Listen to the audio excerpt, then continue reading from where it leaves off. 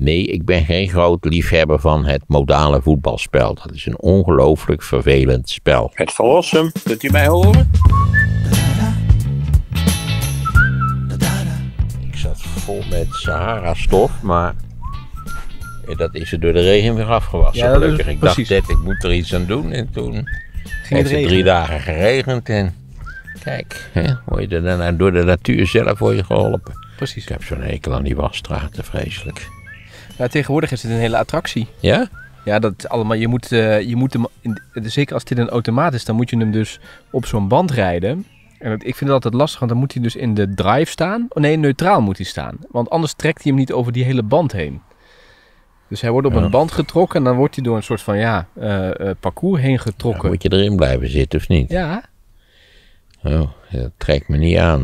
Ik zie al die van die borstels om je heen. ja, dat is Ja, ik had nog eens een keer voor de lol. Toen ik mij lang, lang geleden mijn auto liet wassen. Ik denk dat mijn dochter, eh, dat die een jaar of vier, vijf was of zo. Ik denk, wat leuk.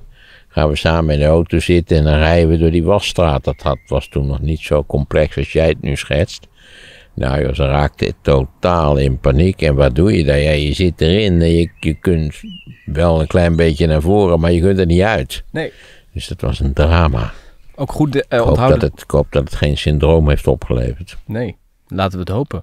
Goed onthouden ook dat je de ramen dicht doet, want anders heb je natuurlijk ook pech. Maar het is, ehm, ja, het, het, het zijn twee, eh, dit is hier een nieuwe gein, zit het volgens mij. En dan gaat hij, eh, ja, ik, ik maak me er altijd maar vanaf. Ik heb deze auto nu al eh, prachtig glanzend aangeleverd gekregen. En ik heb er een jaar helemaal niets aan gedaan. dat is volgens mij het beste, toch? Ja, dat is, ik denk het wel. Ik denk het wel. Mark Rutte heeft gezegd, Nederland komt het beste uit de economische crisis. We, we zitten in de kopgroep straks, als het voorbij Ja, is. zeker. Ik denk niet dat dat zijn verdienste is, want ik begrijp uit zijn woorden dat dat eigenlijk zijn verdienste is. En we kunnen er nog een tweede ding uit begrijpen, dat hij ook kennelijk vindt dat, en niet waar, die onbeschrijfelijk trage kabinetsformatie of eigenlijk niet-formatie, dat dat ook niet zo erg is natuurlijk, aangezien we toch wel vanzelf uit de crisis klimmen. Dat laatste schijnt inderdaad het geval te zijn. Ik zou zeggen, eh, twee hoeraatjes voor het feit dat dat zo is. Maar eh, eh, de formatie begint langzaam toch wel een beetje een treurige vertoning te worden. Te meer als je denkt dat iedereen aanvankelijk zo'n haast had. Rutte voor de verkiezingen, ja, dat is hartstikke belangrijk. Meteen een crisisplan aanpakken, van dit en aanpak van dat. De verkiezingen zijn geweest, hij is zelf in een probleem gekomen en nu is alle haast vergeten, nietwaar? Het, het is een beetje als, alsof kleine kinderen voor het eerst mogen plakken en knippen. En, en dat ze na een uur vreubelen zitten ze allemaal onder de lijn, maar ze hebben niets van enige betekenis tot stand gebracht. Daar begint het toch wel een beetje op te lijken eigenlijk. En ook weet je niet dat de Hoekstraat ook, er moest maar eens vaart gemaakt worden, maar eh, helemaal niks meer. Je begrijpt natuurlijk waar dit allemaal wel heen gaat, namelijk dat Hoekstra en Rutte eigenlijk dolgraag willen dat het zittende kabinet gewoon blijft zitten. Eh, Nou, dan moet dus D66 een beetje gemasseerd worden. Eh, eh, de ChristenUnie heeft natuurlijk, hè, die heeft wel toevallig een motie van wantrouwen gesteund tegen de zittende minister-president.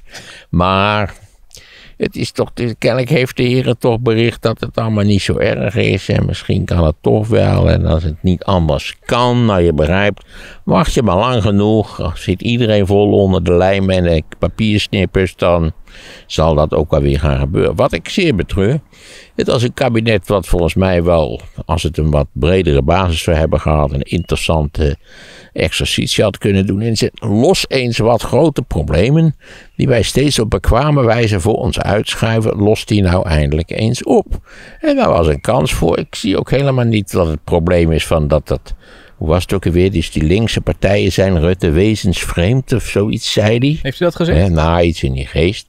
Dat is natuurlijk heel raar, aangezien hij vijf jaar met de PvdA heeft samengewerkt. Weliswaar met rampzalige resultaten voor de PvdA en het land. Maar goed, hij heeft het gedaan. En ook bij de formatie van het nu zittende kabinet was aanvankelijk GroenLinks welkom. En dat is toen stuk gelopen op de migratie. Daar zal GroenLinks nog steeds wel spijt als haar op zijn van hebben.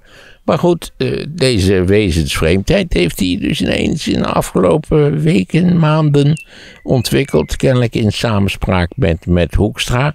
Ja, die natuurlijk een, een schip eh, eh, kapitein van een schip is wat, waarvan we maar moeten hopen dat het niet lek geslagen wordt op, de, op, die, op die vreselijke rotsen waar het opgelopen is. Want ja, het CDA is langzaam natuurlijk wel een, eh, Ja. een zeer ernstige patiënt. Hè? Tommy Wieringa zijn een zieke patiënt inderdaad. En, en de VVD helpt, blijft ze overeind helpen. Ja, en je begrijpt ook wel waarom. De VVD wil graag VVD-beleid voeren. Nou, hoe voer je VVD-beleid? Dat kun je het beste doen door het zittende kabinet te laten zitten. Omdat alles, alle serieuze alternatieven zouden een wat linkser beleid opleveren. En kennelijk heeft Rutte daar geen zin in. Kennelijk is die toch ook van binnen minder beschadigd door de verschrikkelijke gebeurtenissen die zich hebben afgespeeld. Dan iedereen dacht en dat hij, dan hij beweerde. Want je weet, het zou helemaal anders worden. We krijgen een nieuwe bestuurscultuur. Transparantie zou voorlopig altijd in zijn, in zijn, eh, op zijn vlag getekend zijn. Eh, Tulle openbaar ja, het was allemaal geweldig. En nou ja, nu zien we dus een, een, een, een van de minst transparante formaties die we ooit gehad. Nou ja, een, we zien eigenlijk een niet-formatie. Ze zijn nu, geloof ik, nou ja, Kaag en Rutte gaan iets schrijven. Daar ben ik ook denk niet erg van onder de indruk van dat initiatief. En dan gaan we allemaal, gaan we eigenlijk pas praten over de zaken waar het om gaat, half augustus. Begrijp ik. Nou ja, we zijn nu geloof ik al, eh, hoe lang zijn de verkiezingen al niet geleden? Een maand of drie of zo? Maart. Ja, half maart. Ja, kijk aan.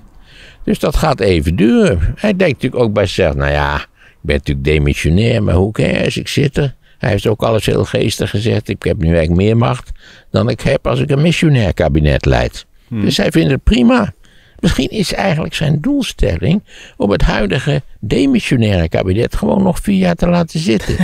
ja, dan er hier en daar een beetje gerommeld worden en zo, maar, maar je kunt je wel voorstellen dat, dat dit wel een leuke, leuke oplossing is. Hè? Niemand krijgt zijn vingers erachter. Segers wil ook wel, dus daar, ja, en Hoekstra zal blij zijn met alles natuurlijk. Ja. Hè? Die is zozeer aan de problemen geraakt dat... eh, Ja. Hamer zei ook, er moet wat meer vrolijkheid moet er terugkomen in de formatie. Nou, ik geloof nou niet dat ik vrolijkheid als een, als een belangrijk punt zie. Informatie van samenzang, eh, bloemetjes en zo. En, en corsages als ze binnenkomen of weggaan. Dat lijkt me allemaal eerlijk gezegd gelul. Nee, nogmaals, naar mijn idee had Rutte hier een kans. Het is, nou ik toch mag hopen, zijn laatste kabinet. Daar mogen we toch wel van uitgaan. Het kan ook zijn dat hij van plan is om voor eeuwig aan de macht te blijven. Hè? Hij scheldt wel op Orbán, maar, maar misschien denkt hij toch, nou, dat zijn wel fijne scenario's. Ja, zo'n kabinet, dat zit er lekker. Waarom, nou ja. Nee, ik zou zeggen, hij had een goede kans. Er liggen hele belangrijke zaken die opgelost moeten worden. Vroeg of laat. Dat, kun je, of dat nu het onderwijs is, of de, kwestie dat er vo- volstrekt onvoldoende gebouwd is, of het, eh, het stikstofprobleem. Nou, je kunt zo die landbouw kan zo niet door. Daar begrijpt langzamerhand iedereen. Ik geloof zelfs allemaal kwesties die met een wat breder kabinet ten eerste goed besproken zouden kunnen worden. Want als je een wat breder kabinet hebt, dan kun je ook in de Kamer iets meer ruimte.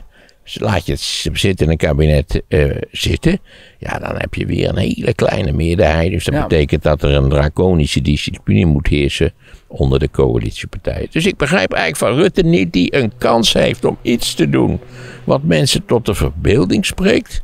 Wat misschien nuttig zou zijn voor het vaderland. En hij doet het niet. Hij kiest de simpelste, meest conservatieve, meest verbeeldingsloze oplossing die op dit moment mogelijk is. En dat is? Nou, voortgaan met het zittende kabinet. Waar die bovendien met de partijen zit die eh, een, een motie van wantrouwen ooit tegen hem gesteund heeft. Dus ik zou zeggen, Rutte, je hebt een kans om iets te doen wat jij nog nooit hebt gedaan. Namelijk echt iets serieus doen aan beleidsverandering in Nederland. En, laat ik erbij zeggen, je zou nu ook wat goed kunnen maken van de enorme schade die jouw kabinet, met name Rutte 2 en ook grotendeels Rutte 1, heeft aangericht. Want dat is, daar is nog niet, niets aan gerepareerd. Hè? Gaat moet nu veel meer naar de jeugdzorg, maar die hele decentralisatie van de WMO, dat heeft rampzalige effecten Ja. gehad. Maar ik verwacht niet als die doorgaat, hè, zoals jij schetst met het huidige kabinet, dat daar zaken gaan veranderen. Nee, dat denk ik ook niet. Dames en heren. Ik roep hem nu op, van achteruit een, een, een kleine en bescheiden, juist gepoetste Audi, roep ik hem nu op Doe eindelijk eens iets serieus. Laat zien dat je een, een politicus. Oh, jezus, ik zit mezelf onder te knoeien, gelukkig. Wat- is het alleen water? Of Het is zit er alleen water. Nee, het is alleen water, dus het kan niet echt kwaad. Het komt dat ik allerlei dingen tegelijkertijd wil doen, wat voor de bejaarden praktisch Oh, onmogelijk, ja. Neem je tijd. Onmogelijk is. we hebben uren zat om te lullen, hè? dus dat weet je. Ja, hij heeft een kans om iets van belang te doen en hij doet het niet. En waarom doet hij het niet? Ja, uit een soort. Ik weet niet. Kijk, hij is een. eh, Als, als, als politicus is hij het beste te vergelijken met een kleine ambachtsman. Grote ideeën heeft hij niet, want dan moet je ook naar de opticien, geloof ik, als je grote ideeën hebt. Eh, het blijft allemaal een beetje klein. Hij is als, als laten we zeggen, eh, coalitieleider, eh, verstaat hij zijn vak. Maar nu heeft hij een kans. Rutte, het is je laatste kabinet. Doe eens eindelijk iets fantasievols. En kan dat ook met de huidige coalitie? Of zeg je, daar heeft hij toch wel echt andere partijen voor nodig? Nee, ik vind dat het kabinet wel serieus moet worden opgeschud. Ik was nou niet diep onder de indruk van Rutte 3, moet ik je zeggen. Dat is nou niet een eh, gezelschap waar jij, waarbij je je hoed voor afneemt als ze voorbij komen. Nee, nee oké. Dus de idealen die jij ook, eh, nou in ieder geval, die jij hier op tafel legt, daarvan zeg je, daar zou in ieder geval een PvdA mee moeten doen. Nou, waarom niet twee linkse partijen? Dat heeft hij, dat wil Ja, maar een brede coalitie. Wij zijn een land van brede coalities. Ik begrijp helemaal niet waarom er over. Het, is een feit dat de coalitie leert, de politicologen leren ons, dat eh, coalities altijd zo klein mogelijk zijn. Wel een meerderheid moeten hebben, maar niet een te grote meerderheid. Dat is in tegenstelling tot de coalitieleer. Maar ook daar zou ik zeggen, doe eens wat anders. Gebruik je fantasie. Durf eens wat, Rutte, kom op. Het herstelplan, eh, dat moet ook ingediend worden. Hè? Na de zomer moet het naar Ja, Europa. maar dat is waarschijnlijk iets minder dringend dan al die andere grote dossiers die er nog liggen waar niet veel aan gedaan is. Hm. Maar het geld is misschien wel nodig om die plannen te realiseren. Want volgens mij krijgt Nederland 5 miljard. Geld, er, is, er is geld zat. Als we uit, even uitgaan van de Europese begrotingsregels en voorschriften. Nederland heeft geld zat. Nederland is een van de best draaiende economieën in Europa. Er is wel veel uitgegeven de laatste, het laatste jaar. Ja, goed, maar dat, dat kan op termijn heel makkelijk worden terugbetaald. Oké. Oké. Hey, ehm, eh, jij, jij stipt al het CDA aan. Ik, eh, Follow the Money ken je natuurlijk, hè? Die, eh, die? Follow the Money. Ja, zeker, dat ken ik, ja. Die hebben dus uitgezocht eh, hoe dat precies zit met eh, ja, die donateurs, waar uh, Omzicht het al over had Ja. in zijn memo. En die zijn uitgekomen ja, bij een man die een miljoen heeft gestort, ruim.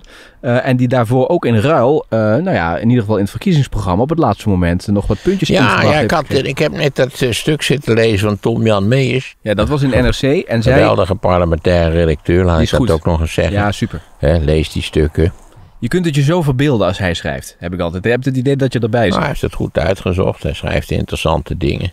Eh, daar, hij is een prima voorbeeld van het feit dat je een behoorlijke krant moet lezen om politiek bij te blijven. En dat de televisie daar in feite niet echt geschikt voor is. Nee. Maar dit is wel van Follow the Money, hè, van die, eh van die Ja, nou, nou ja, het blijkt toch dat er inderdaad wel degelijk niet waar om zit had te zeggen. Ja, je maakt je kwetsbaar.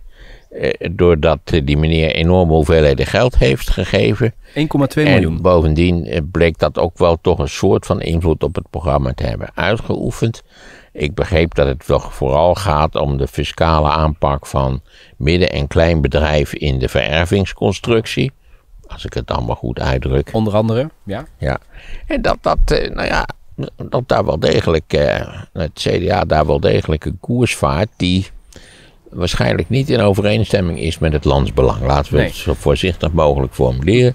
Het, het leidt toch tot grote fiscale voordelen van mensen die toch al grote fiscale voordelen genieten. Exact. Dat is dan één voorbeeld. Het gaat trouwens om Hans van der Wind. In ieder Ja. geval, dat is die man hè, van, van 1 Ja, miljoen. die is rijk geworden met tweedehands schoolboeken, begreep ik, die door de overheid betaald werden. Exact. En Follow the Money heeft dus nu zo'n. ehm, nou, heeft, heeft uitgezocht dat er op het laatste moment voor het eh, congres van het CDA in januari, als ik me niet vergis, van dit jaar.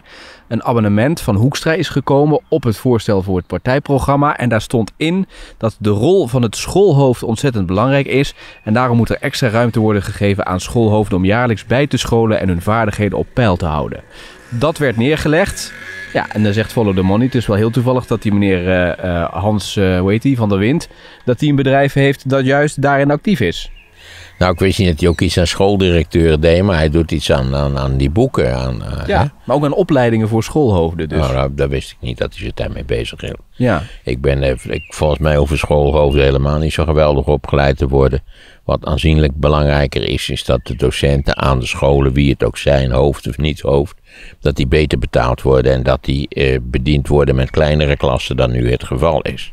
En Nederland heeft op dat punt eh, echt eindeloos eh, de boel laten liggen. Als je even kijkt naar de Scandinavische landen of andere kleine Europese landen, zul je zien dat de school, de klassengrootte daar aanzienlijk kleiner is dan bij ons.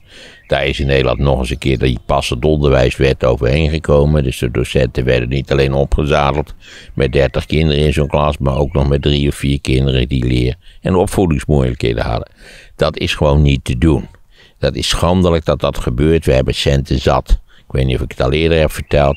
Er zitten tegenwoordig evenveel kinderen in een klas als toen ik naar school ging. Ik ben dus naar de lagere school gegaan in 1950. Toen wij een arm land waren. Hè? We zijn nu een schatrijk land. Maar we hebben het niet de moeite waard gevonden om dat te vertalen in aanzienlijk kleinere klassen. En ook niet de moeite waard gevonden om docenten, onderwijzers in het bijzonder, veel beter te betalen.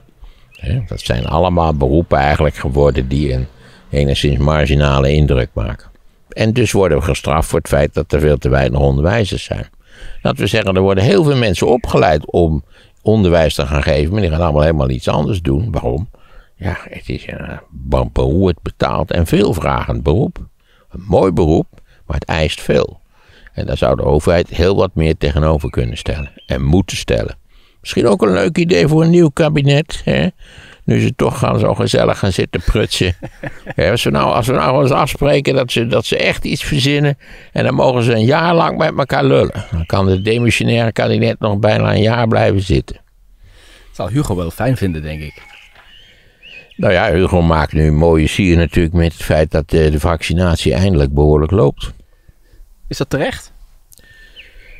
Nou, dat, ik weet niet, iemand zei ergens, of ik las ergens, het mag nu wel een zeventje hebben. Maar ja, ze zijn veel te laat begonnen en daar zei ook iemand vrij concreet bij, dat heeft doden gekost. Dat was niet nodig geweest. Met name die aanloopfase, dus in de late herfst en zo. Dat is echt broddelwerk geweest, eerste klas. Ook natuurlijk omdat ze zich op, die, op de wijze waarop ze het wilden doen, daar hebben ze zich op verkeken. En, en toen ze tot de conclusie kwamen dat dat Pfizer anders aangepakt moest worden, moesten ze die hele boel nog opzetten. Ze hadden veel eerder hadden ze een speciaal apparaat op moeten zetten om die vaccinaties te verzorgen. Want nu hebben ze dat en nu loopt het goed. Dat wil zeggen, moet er nog flink doorgeprikt worden, want de kinderen moeten ook nog aan de beurt komen. En aan de horizon, nietwaar, eh, er hangt natuurlijk een duistere wolk. Namelijk eh, van, dat, eh, in, van die Indiaanse variant. De Delta-variant. Ja, de Delta-variant, die in allerlei opzichten toch een stuk besmettelijker lijkt te zijn. In Portugal al dominant. Ja, Portugal dominant is vooral lollig dat al die eh, jonge mensen fijn naar Portugal met vakantie gaan. Dus daar zal Spanje zich waarschijnlijk bij aansluiten. En nou ja, Israël, het best gevaccineerde land ter wereld tot op dit moment, heeft de mondkapjesplicht binnenshuis weer ingevoerd. Juist omdat daar die, eh, die Delta-variant in hoog tempo om zich heen grijpt. Dus ik, ik moet zeggen, ze moeten wel, eh, ja, let op uw zaak zou ik zeggen. En, en maak niet de kapitale fout die we vorig jaar hebben gehad. Dat we veel te laat gereageerd hebben toen de tweede golf op gang begon te komen. En hoe kijk je dan nu naar de versoepelingen? Nou, daar moet je enorm mee uitkijken dat je daar niet te ver mee gaat. Dat is wel duidelijk. Ja. Dus, dus zo, met name de anderhalve meter regel en zo. Ja, het mondkapje is altijd een, een twistappel geweest. Maar ik zou zeggen, kijk goed wat je doet. En, en reageer in godsnaam op tijd. Zorg ook dat teststraten, nou goed, daar wordt wel voor gezorgd, begreep ik. Hoewel ze weinig gebruikt worden. Maar met name ook contactonderzoek, dat dat goed op orde blijft. ja. Nou, jongeren zijn niet zo blij, want die willen weer... Ik weet niet of je de beelden hebt gezien van Paradiso. Eh, Wat de jongeren betreft is het nooit in orde als ze niet eh, zich voortdurend Lazarus kunnen zuipen en aan elkaar kunnen kleven. Dus daar kunnen we weinig aan doen, denk ik. Dat is gewoon des jongerens. Maar jongeren wilden heel, eh, graag uit. En dan moesten ze een testbewijs Ja, ik hebben. moet zeggen dat ik die ongelooflijke, onbeschrijfelijke drang om uit te gaan, daar ben ik gewoon te oud voor. Dat begrijp ik niet. Ik, het is een wereld waar ik buiten sta. Als je ze ziet uitgaan, denk je altijd, god allemachtig, wat ben ik blij dat ik daar niet bij ben. Hè, wat een drama is dat. Dus nee, ik, eh, ik was vroeger ook niet zo'n uitgaander. Het schijnt dat de jongeren alsmaar willen uitgaan. Hè?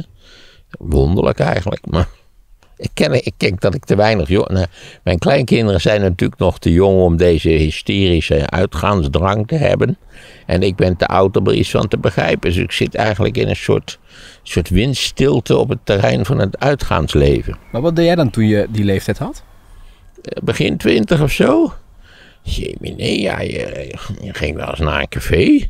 Maar ja, dan zei je, toch- ik heb het wel eens verteld, dan dronk je drie van die fluitjes en dan was het geld op. Dus de- ja, je had niet veel te makken. En dan je ging bij, bij, eh, bij, eh, bij mijn jaarclubgenoten ging ik eh, blackjacken. Dat deden wij. Is toch ook uitgaan? Nou ja, dat is toch wel iets anders dan die indruk die ik heb van wat nu dan uitgaan geworden is. Dat je toch in, in- grote massa's geleidelijk aan opbouwt naar hysterische opwinding. Met alle gevolgen van die natuurlijk. Maar ik, kan, ik heb daar een. We hebben het al, al vaker gehad. Ik heb het al met allerlei mensen besproken. Niet waar, die naar mijn idee toch nogal al overdreven manier van wat we gemist hebben. En hoe erg het is. En, hoe ontzettend dat dat gebeurd is. Mijn indruk is misschien dat dat dan niet voor sommige jongeren geldt. Dat de meeste mensen in het afgelopen coronajaar eh, er heel redelijk doorheen gekomen zijn. Ze zullen wel eens gedacht hebben, oh wat jammer zus of oh wat jammer zo. Ik vond het ook vervelend dat er een tijdje was dat mijn kinderen ons eh, van buitenaf kwamen toewuiven. Maar we moeten het ook niet overdrijven. Met Nee. name, niet waar, vergelijkingen met de Tweede Wereldoorlog zijn naar mijn idee volledig ongepast. Ja. Nog even over Hugo. Want ehm, ehm, hoe, moeten we, hoe moeten we zijn beleid, want het gaat natuurlijk niet om de persoon, maar om zijn beleid. Hoe moeten we dat nu beoordelen nu het sentiment wat positiever is? Met een zeventje zou ik zeggen. Oké, dat is Maar overal. eh, Hugo, je kunt niet eh, het rustig aan gaan doen of zo. Hè? Kan niet op vakantie. Nou, hij mag van mij best op vakantie. Je zal een paar topambtenaren hebben die, die het licht aan kunnen houden. Dat geloof ik ook wel. Maar, maar voor de rest, ja, tuurlijk, hij kan gewoon op vakantie. Ja. Mensen die nooit... Ik geef niks om vakantie, moet ik er even bij zeggen. Vakantie... Vakantie is ook een soort cultuurziekte. Hè? Dat je voortdurend met vakantie moet. Dat je ook de hele jaar loopt te denken, waar zal ik eens heen gaan met vakantie? Hè? Want ja, je hebt tegenwoordig een hele reeks van vakanties natuurlijk. Hè? Want je moet met de wintersport, vergeet dat even niet. Een gruwel waar ik ook nooit iets van heb begrepen. En dan moet je natuurlijk van de zomervakantie, dan liefst nog een paar, paar lekkere korte vakantietjes ertussendoor. Liefst ook in het vliegtuig natuurlijk. Eh, nee, vakanties, dat is in eh, allerlei opzichten is dat een soort hoofdonderwerp van... Je moet wel heel beroerd werk hebben, denk ik altijd bij mezelf, als je altijd over vakantie zit te lullen. Hè? Ja, ik moet zeggen, ik doe werk wat ik wel leuk vind. En eh, nou, ik vind een vrije zaterdagmiddag. Hè, dat vind ik al lang goed. Dat ik nou toevallig deze zaterdagmiddag op moet offeren, nietwaar, aan het toespreken van de podcastklanten. Dat is vers 2, daar kom ik wel overheen. Oké, nou dat is fijn. Gelukkig. Ehm, Oké, dus dat is de jongen. Even overigens nog eh, over het CDA. Hè? Eh, over die invloed die je dus schijnbaar kunt kopen op het partijprogramma. Hè? Want je kunt schijnbaar ook lid worden van, is misschien leuk voor jou, de CDA Business Club. En dan kun je Ja, dus... dat zijn allemaal dingen die ze beter niet zouden kunnen doen. Maar ja, ze hebben geld nodig. Kijk, de financiering van de Nederlandse politiek, die vraagt om behoorlijke wetgeving. En nu is dat eigenlijk niet goed geregeld. Met als gevolg dat het, dat het slecht controleerbaar is. Ook die meneer die dat miljoen heeft gegeven aan het CDA, die is tegelijkertijd ook de fondsenwerver. En die heeft iets met een commissie te maken dat je denkt, kom op. Hè, wat is dit nou? Het CDA was toch van origine min of meer fatsoenlijke partij. Maar kennelijk is daar ook de klad aan ingekomen. Ja, maar stel dat wij veel geld hebben en eh, we gaan naar een partij toe en zeggen wij willen nou, bijvoorbeeld jouw standpunten verwezenlijken. Dan zeggen we, nou leggen we dit op tafel en dan Dat mogen we... laatste zou natuurlijk op zichzelf zeer toe te juichen zijn. Maar ik zou niet naar een partij toe gaan en zeggen: Nou ja, ik ben toevallig door een ongelukje ben ik rijk geworden. Ja, je weet hoe dat tegenwoordig gaat. Je hebt helemaal niet de bedoeling om rijk te worden, maar merkwaardig genoeg wordt door een kruiwagen met geld overreden en je bent rijk geworden. Dan zou ik niet naar een partij gaan zeggen: jongens, als, jullie moeten mijn ideeën realiseren en ruil daarvoor ga ik dan een, een zeer omvangrijke gift doen. Godzijdank zit de Nederlandse politiek ook niet zo in elkaar dat dat kan. Je kunt dit wel aan, aan het CDA geven, maar het CDA gaat niet eens eentje regeren. Hè. Nou, Zou- Maar zou goed, Wopke wel leuk vinden. Eerlijk gezegd denk ik dat Wopke, als die, als die weer minister van Financiën mag worden, zo dolgelukkig is dat hij bereid is alles in te slikken enzovoort. Maar je zit in Nederland altijd met een vrij omvangrijke coalitie. Sterker nog, ik heb net bepleit dat hij nog wel iets omvangrijker kan dan nu schijnbaar de bedoeling is van Rutte en zijn konuiten. En dat betekent dat je zo'n, eh, eh, dat, je, dat je kunt wel invloed wellicht kopen in één van de partijen. Maar dat zal in coalitieoverleg, zal dat eh, slecht ontvangen worden als dat gerucht loopt. ja, Dat geldt ook voor deze kwestie waar we het nu net over hebben. ja. Niet waar die grote gift aan het CDA. En waar wel degelijk ook een soort van eh, eh, invloed, eh, beïnvloeding achter stak. Ja, dat begreep ik ook uit het artikel dat in ieder geval toen Hugo nog de lijsttrekker was, dat er niet zoveel donaties binnenkwamen. En toen op een gegeven moment Wopke het werd, toen kwamen ze allemaal wel binnen. Ja, Dus dan haalt je de koekoek hoe die komt. Hè. Het, het CDA is natuurlijk altijd, heeft altijd twee kanten gehad. Namelijk een aardsconservatieve kant. Dat is duidelijk de dominante kant op dit moment. Daar is natuurlijk ook de vorige partijleider heeft op die koers gevaren. Namelijk rechts van de VVD uit te komen. En dan is het probleem natuurlijk dat het CDA traditioneel ook wel wat linkse mensen eh, binnen de partijkaders heeft gehad. En ja, die zitten daar natuurlijk ontzettend mee. Ik, ja, iedereen kan makkelijk verwijzen naar het drama, nietwaar, van het eerste kabinet Rutte. Toen Maxime Verhagen en Rutte samen in feite eh, besloten hebben dat het CDA in een, in een coalitie die gedoogd zou worden door de PVV zou stappen. Wat gebeurd is. Met rampzalige gevolgen. Laten we dat, ja, je ziet dat ik zeg dat met een zeker genoegen. Zonder, ik wil dat niet ontkennen, ik zeg het met genoegen. Op dat congres was twee derde voor eh, die gedoogconstructie, maar een derde en, en zeer veel aanzienlijke prominenten in de partij waren er fel tegen. ja, Terecht, volkomen terecht natuurlijk. Een waardeloos klote kabinetje, dat Rutte 1. Rutte 2 blijkt achteraf ook een ramp te zijn geweest. Rutte 3 is niet indrukwekkend. Kortom, nog een argument. Maak er nu echt eens iets van. Probeer echt eens te denken in termen van het nationaal belang. In plaats van dat nogal beperkte belang niet waar van een conservatieve VVD en een aardsconservatief CDA. Ja. Overigens was het wel een legendarisch congres met, eh daar was ook de voorzitter die de, die de stemming moest Dat het organiseren. uit oogpunten van dramatiek, nietwaar? En, en er zou ook best- best eens een leuk toneelstuk van gemaakt kunnen worden. Wij herinneren ons allemaal Camille Eurlings. En ik sta hier dan ook als een trots CDA-lid uit Valkenburg. Ik ben CDA, ik blijf CDA, ik word nooit van mijn leven van de PVV. Die daar al liet zien dat hij niet helemaal goed snik was. Jij bent een mens van vlees en bloed, je bent een christendemocraat in en nieren. Nou ja, dat is vervolgens ook vrij omstandig gebleken. Met Maxime Verhagen. Ja. Ja, ja, ja. ja dat was... Oh, Maar goed, het is dus eh, in ieder geval zo dat bij het CDA de financiers dus wel invloed hebben gehad op de eh, leiderschapswissel. Ja. Dat is dus... eh, dat is dus Ja, maar ja, dus die omzicht had op dit punt groot Ja. gelijk. Ja. Zoals omzicht sowieso wat betreft de kritiek op zijn eigen partij in het algemeen groot gelijk heeft gehad. ja. We hebben omzicht in een heel ander kader besproken, namelijk of het een ideale partijleider of fractieleider in de Kamer zou zijn. En toen heb ik besloten dat ik dat eigenlijk niet zo vond, maar dat hij een geweldig Kamerlid was geweest. Ja.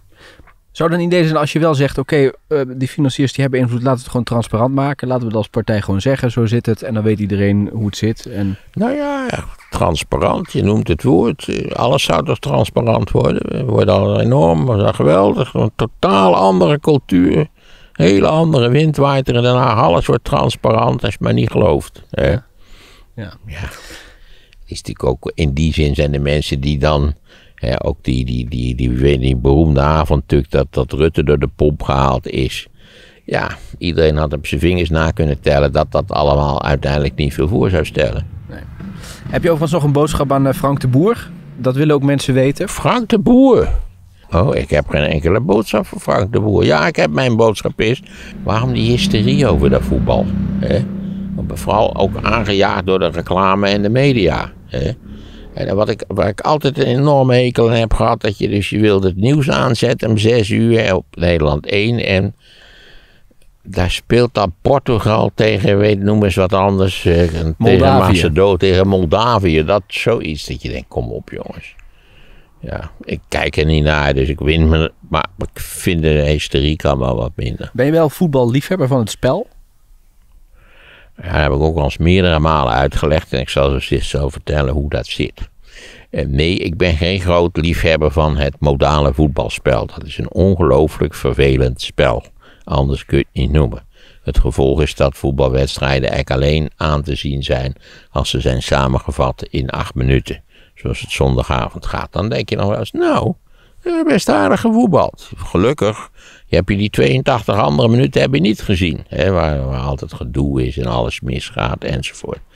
Eh, maar er bestaat op, eh, volgens mij op YouTube een filmpje waarbij je, als ik het me goed herinner, het is een tijdje geleden dat ik het toevallig ontdekte, 100 doelpunten van Messi achter elkaar gemonteerd zijn. Ik geloof dat hij ondertussen 800 gemaakt heeft, maar dit zijn de 100. En, en als je dat bekijkt, denk je, god, het is toch eigenlijk wel een aardige sport, mits je het ook kan.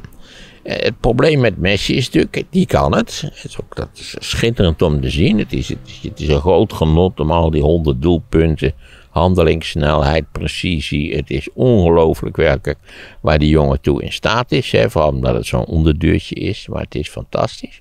Uh, maar als je Messi hebt gezien, ja, dan besef je dus dat, dat ik zal maar zeggen, het voetbal in de Nederlandse eredivisie, daar, word je niet vrolijk van. Hè. Dat is namelijk ontzettend zuur voetbal. En ik heb een vage herinneringen dat Frank de Boer ook eigenlijk een kampioen is van ontzettend surfvoetbal. Hè? Eigenlijk volgens de bekende regel, als Hully de bal niet hebben dan, eh, of zoiets, dan kunnen ze ook niet scoren, zoiets in die geest. Ja, ja dat geloof ik graag. maar als dat betekent dat je achterin als met de bal over, aan elkaar overspeelt, ben ik er ook niet zo van onder de indruk.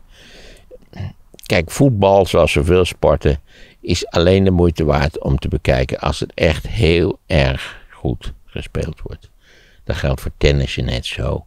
De meeste tenniswedstrijden, sorry, dat is toch niet om aan te zien. Die eindeloze slagenwisselingen vanaf die baseline. Wat een treun is. Maar ja, als je ooit een echte grote tennis aan het werk hebt gezien in een finale van een of andere, dat, dat is de moeite waard. Maar vandaar dat ik heel weinig sport kijk. Kun je een wedstrijd herinneren waarvan je zegt, nou, dit vond ik, dit was nou echt spannend. Daar heb ik van genoten. Voetbal? Ja. Nou, gek genoeg. Is dat enorm lang geleden volgens mij. Dat Ajax in het jaar dat het volgens mij de Champions League heeft gewonnen, speelde tegen AC Milan als ik het wel heb. En dat was, dat, dat was indrukwekkend. Toen had je nog, uh, had je nog die Fin.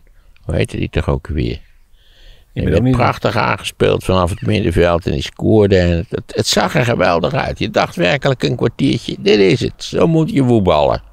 Ze hebben ze ook gewonnen en volgens mij ook de Champions League gewonnen. Maar dat is ook al lang weer voorbij. Want je weet, als je in Nederland een heel klein beetje kan voetballen, dan verdwijn je in no time naar een uh, ontzettend uh, beroemde club waar je dan op de reservebank mag zitten. Maar je weet vooraf niet of een wedstrijd spannend wordt of niet. Daarvoor moet je hem gaan bekijken. Ik zweer je dat een wedstrijd van FC Emmen tegen, noem nog ze wat, en, en, en NAC of NEC of hoe ze mogen heten, dat dat niet spannend wordt. Dat wil zeggen, voor veel mensen is het spannend omdat ze een soort emotionele engagement hebben met een van die clubs. Dat komt dat ze een emotioneel engagement hebben met het nationale elftal. Ik heb geen enkel emotioneel engagement. Ik zou zeggen, wie het beste kan voetballen, mogen graag winnen, wat mij betreft. Ja. En nog één punt hadden we qua actualiteit: de inflatie die alsmaar oploopt. Um, ja, dat zou wel vrij tijdelijk zijn, denk ik. Ja? Ja, dat is nog wel even een spurt. Wat dat betreft uh, geloof ik wel in Paul Krugman. Daar hebben we al eens vaker over gehad, de economische columnist van de New York Times. Die zegt dat is die inflatie die kan wel even oplopen. Of is dat helemaal niet zo verschrikkelijk? Want we hebben nou juist jarenlang geprobeerd om die inflatie op een procent of twee te krijgen. Dus laat dat maar eens even zo zijn. Dat kan ook heel stimulerend werken. Nou, is dat zo? Ja. Keynes heeft gezegd, daar hebben we ook vaker over gehad. In een wereld waarin de verschillen te groot worden tussen de haves en de have-nots, uh, daar kunnen de profiteurs, van, de profiteurs van de crisis een doelwit van haat en bedreiging worden. Inflatie draagt de potentie in zich, zegt hij, om de bestaande basis van de samenleving omver te werpen. Ja, maar ik, ik denk dat de, dat de rijken rijker zijn geworden in, in de afgelopen crisisjaren. Dat schijnt onomstotelijk eh, feit te zijn. Maar goed, dan moeten, we, dan moeten we maar politiek ingrijpen. Dat we dat niet doen, dat is wat anders. Dat we fiscale systemen hebben, of dat je heel makkelijk fiscaal kunt vluchten naar de Cayman-eilanden, of weet ik waar. naar. Ja, dat, moet, dat moeten we aanpakken. Maar dat betekent belastingharmonisatie, eh, bovennationale belastingharmonisatie. Zeker ook in Nederland. Zeker ten aanzien als je naar de vermogenskant kijkt, nemen de verschillen natuurlijk toe. Dat is zonder meer een feit. Dat komt ook omdat ons fiscale systeem verkeerd in elkaar zit. Hè? In Nederland word je als spaarder en kleine belegger word je heel wat zwaarder belast eh, dan, dan eh, mensen die grote vermogens hebben en daar handig mee weten te werken.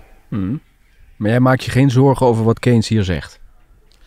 Nee, nee, ik maak me sowieso. Misschien moet ik daar eens een keer uitleg aan geven. Eh, je kunt natuurlijk steeds, eh, zeker als je naar de televisie kijkt en de krant leest, kun je ook denken: waar moet het met de wereld heen? Oh jee, oh jee, oh jee. Want ik gaat, er, niets gaat er goed, alles gaat fout. Eh, er komt een vierde grond. Nou ja, en zo kunnen we nog even doorzeuren. Ja, als je van plan bent om het leed van de wereld op je schouders te dragen, wat overigens in Nederland eh, relatief erg meevalt, eh, vergeleken met wonen in Brazilië of op andere ellendige plekken op deze planeet, ja, dan heb je een heel vervelend leven. Maar ik moet je zeggen, ik, eh, als je er zelf niets aan kunt doen, het is leuk om erover te praten, het is leuk om erover na te denken.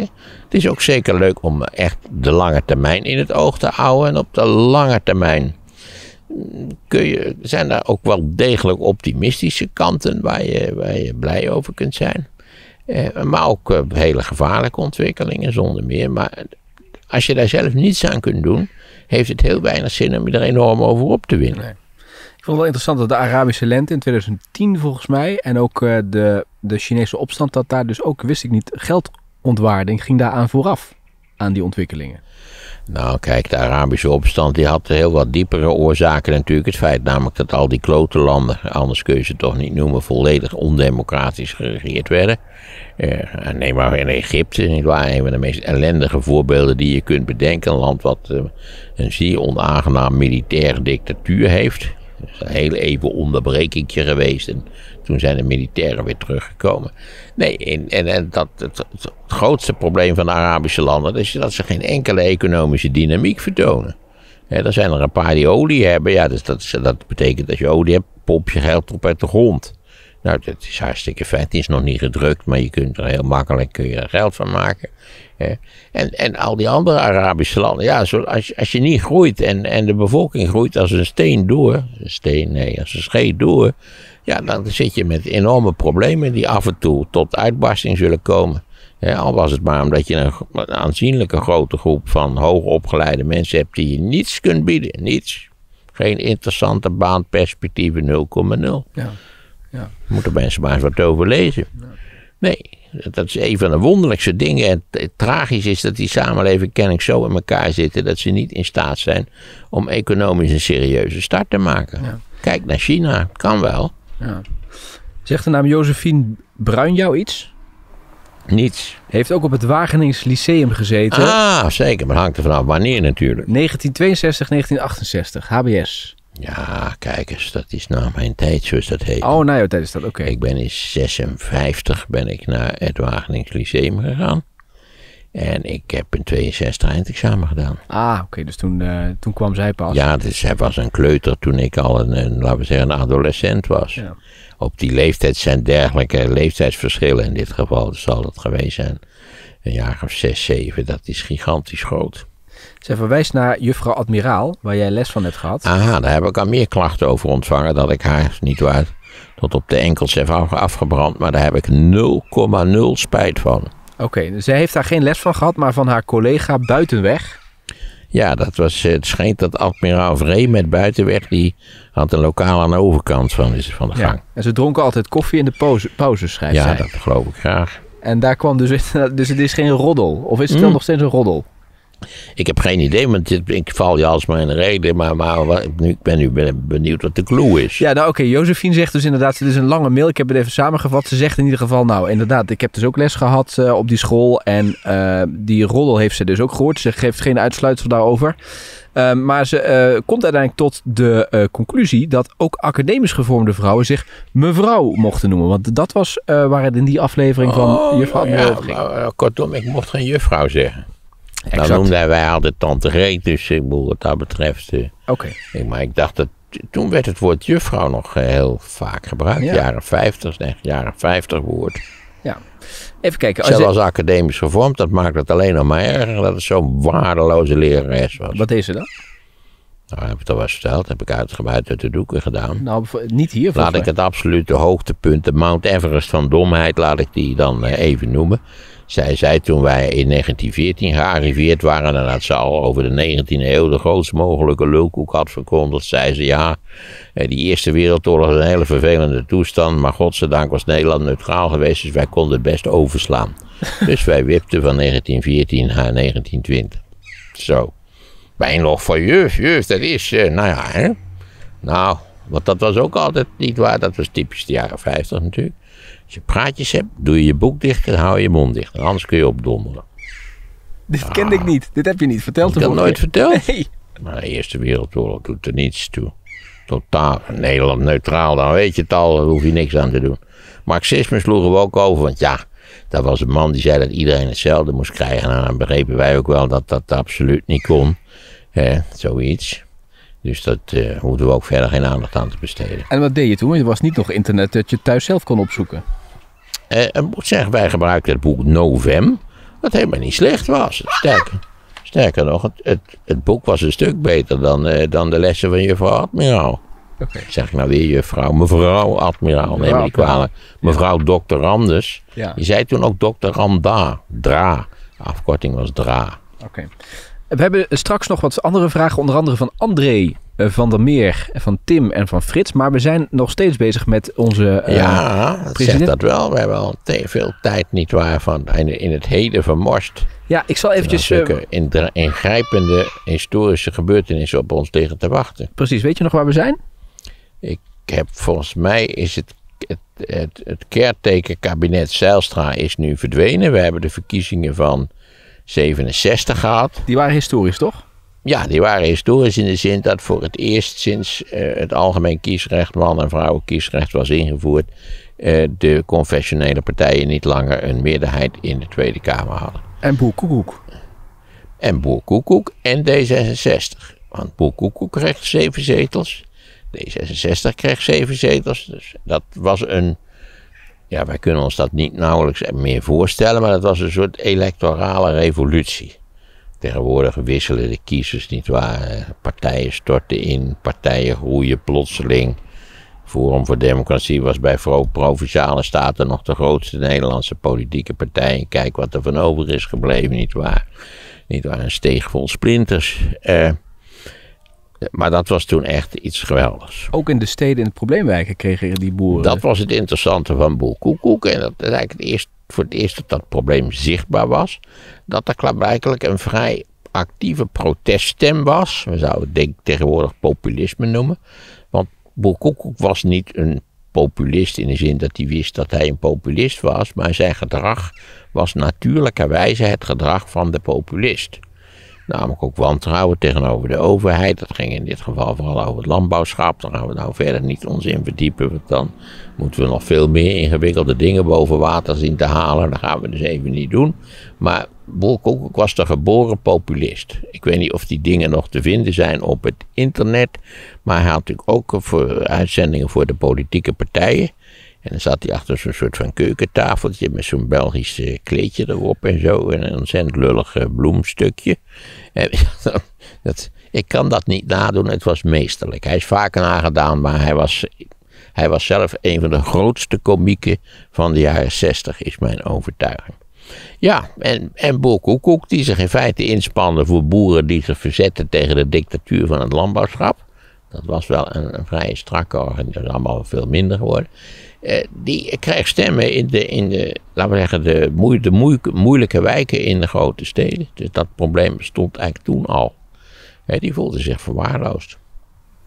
En hoe gingen ze om met die verkiezingsuitslag? Die dus echt, ja... We, we- Nou, het interessante is dat er eh, kwam een nieuw kabinet, het kabinet De Jong. In feite een kabinet van de conventionele partijen en de VVD. Die natuurlijk samen nog een vrij ruime meerderheid in de Kamer hadden. En dat is een van de wonderlijkste dingen van die jaren. Eh, dat dat een vrij conservatief kabinet er vier jaar gezeten heeft. Eh, heeft alle mogelijke oproer waren, was er in die jaren. eh, Denk aan de studenten, de maagdenhuisbezetting, allemaal dat soort van dingen.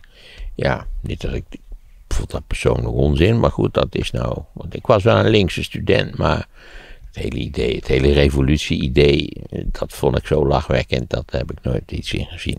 Hè, je had toen de Universiteit Tilburg, die was door studenten bezet, en die hebben toen de Tilburg hebben ze toen omgedoopt in Karl Marx Universiteit. Terwijl natuurlijk de afkorting Katholieke Universiteit Tilburg op zichzelf al ruim voldoende is. de natuurlijk. kut. Ja, preeg. Ze hebben dat later Daar, aangepast. ja, Brabant hebben ze wel gemaakt, ja. Dat is ook van een ongelooflijk lullig soort van schijnheiligheid eigenlijk. hè? En tegenwoordig zijn het allemaal eh, Engelse namen. Hè? Tilburg University, Ja, hier in is Utrecht is uit of ook Science Ja, Park geworden. deep in knowledge, het is allemaal te gek voor woorden. Maar goed, het probleem van het Engels aan onze universiteiten, dat moeten we misschien een keer bespreken. Dat wil ik best doen. Maar ik geloof dat we het ook al een keer besproken hebben. Het is te gek voor woorden, dat gedoe met dat Engels. Echt volstrekte onzin. Dat iedereen zijn masterscriptie in het Engels moet doen. Dat is echt lachwekkend. Ja, met het wonderlijke idee dat ze kennelijk allemaal doorstromen naar Harvard of naar prominente researchposten in de Verenigde Staten of elders in de wereld. Ben je gek, joh. De meeste mensen die zo'n master voltooien, die worden chef plantsoenendienst in Roermond. Ik heb er al eens eerder op gewezen. Eh, en dan hoef je echt geen Engels te spreken. Sterker nog, in Roermond moet je zorgen dat je het Limburgs dialect onder de knie hebt. Hè. Hoe was dat in Heerlen trouwens?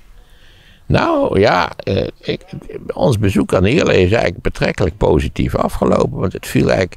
Heerlen heeft zijn reputatie bepaald ingrijpend tegen. Maar het bleek eigenlijk een vrij. Wij vonden het een vrij aantrekkelijke plaats met veel groen. En ja, kijk, het is nu. eh, God, de, de mijnen zijn dichtgegaan, eh, zeg maar. 75, dus dat is eh, ondertussen bijna een halve eeuw geleden. En, en eh, Limburg, of, eh, heeft hele moeilijke jaren doorgemaakt. Met ook grote drugsproblemen enzovoort enzovoort. Eh, nog steeds is de werkloosheid ligt er wel wat hoger dan in het gemiddelde in Nederland. En levensverwachting, naar de bekende statistiek, is allemaal wel iets minder. Maar eh, onze indruk was, voor zover je die kunt krijgen als drie rondwankelende bejaarden in twee dagen, dat, dat, eh, dat zich daar toch ook een vrij breed herstel heeft gemanifesteerd. En wat vond Vincent van de, het maankwartier? Dat, dat, dat nieuwe ding bij het station? Nou ja, wij hadden onze twijfels bij het maankwartier. Moet je zoveel geld steken in een groot project? Eh, we hebben het ook de zaken afgesloten in het maankwartier. We zitten op een soort randje bij een vijvertje. En ons viel op dat eigenlijk nu al het maankwartier, wat spiksplinter nieuw is, zelfs nog niet officieel geopend. Ja, dat zag er toch een beetje vervuild uit. Hè? We Vervuild? hebben ze, ja, overal peuken op de grond en het water in het fonteintje was er ongekend smerig. Kijk, als je zoiets maakt met veel pretenties en, en eh, toekomstgericht natuurlijk ook, dan moet je ook zorgen dat het tip-top onderhouden wordt. Eh, maar wat mij betreft ook de, de, de openbare ruimtes daar, die, die waren duidelijk niet keurig op orde. Sluit ze af. Zorg dat het, zorg dat het er zo goed mogelijk uitziet.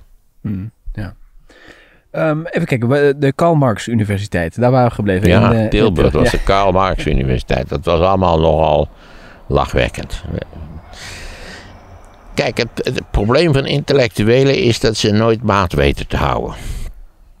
Dus eh, als ze rechts zijn, dan zijn ze ook meteen, eh, sympathiseren ze met het Derde Rijk. En, en als ze links zijn, moet er meteen een revolutie komen. Alles moet omvergeworpen worden, nietwaar? Het heil moeten we al- alsnog vinden. De beste voorbeelden zijn Noord-Korea, Maoïstisch China.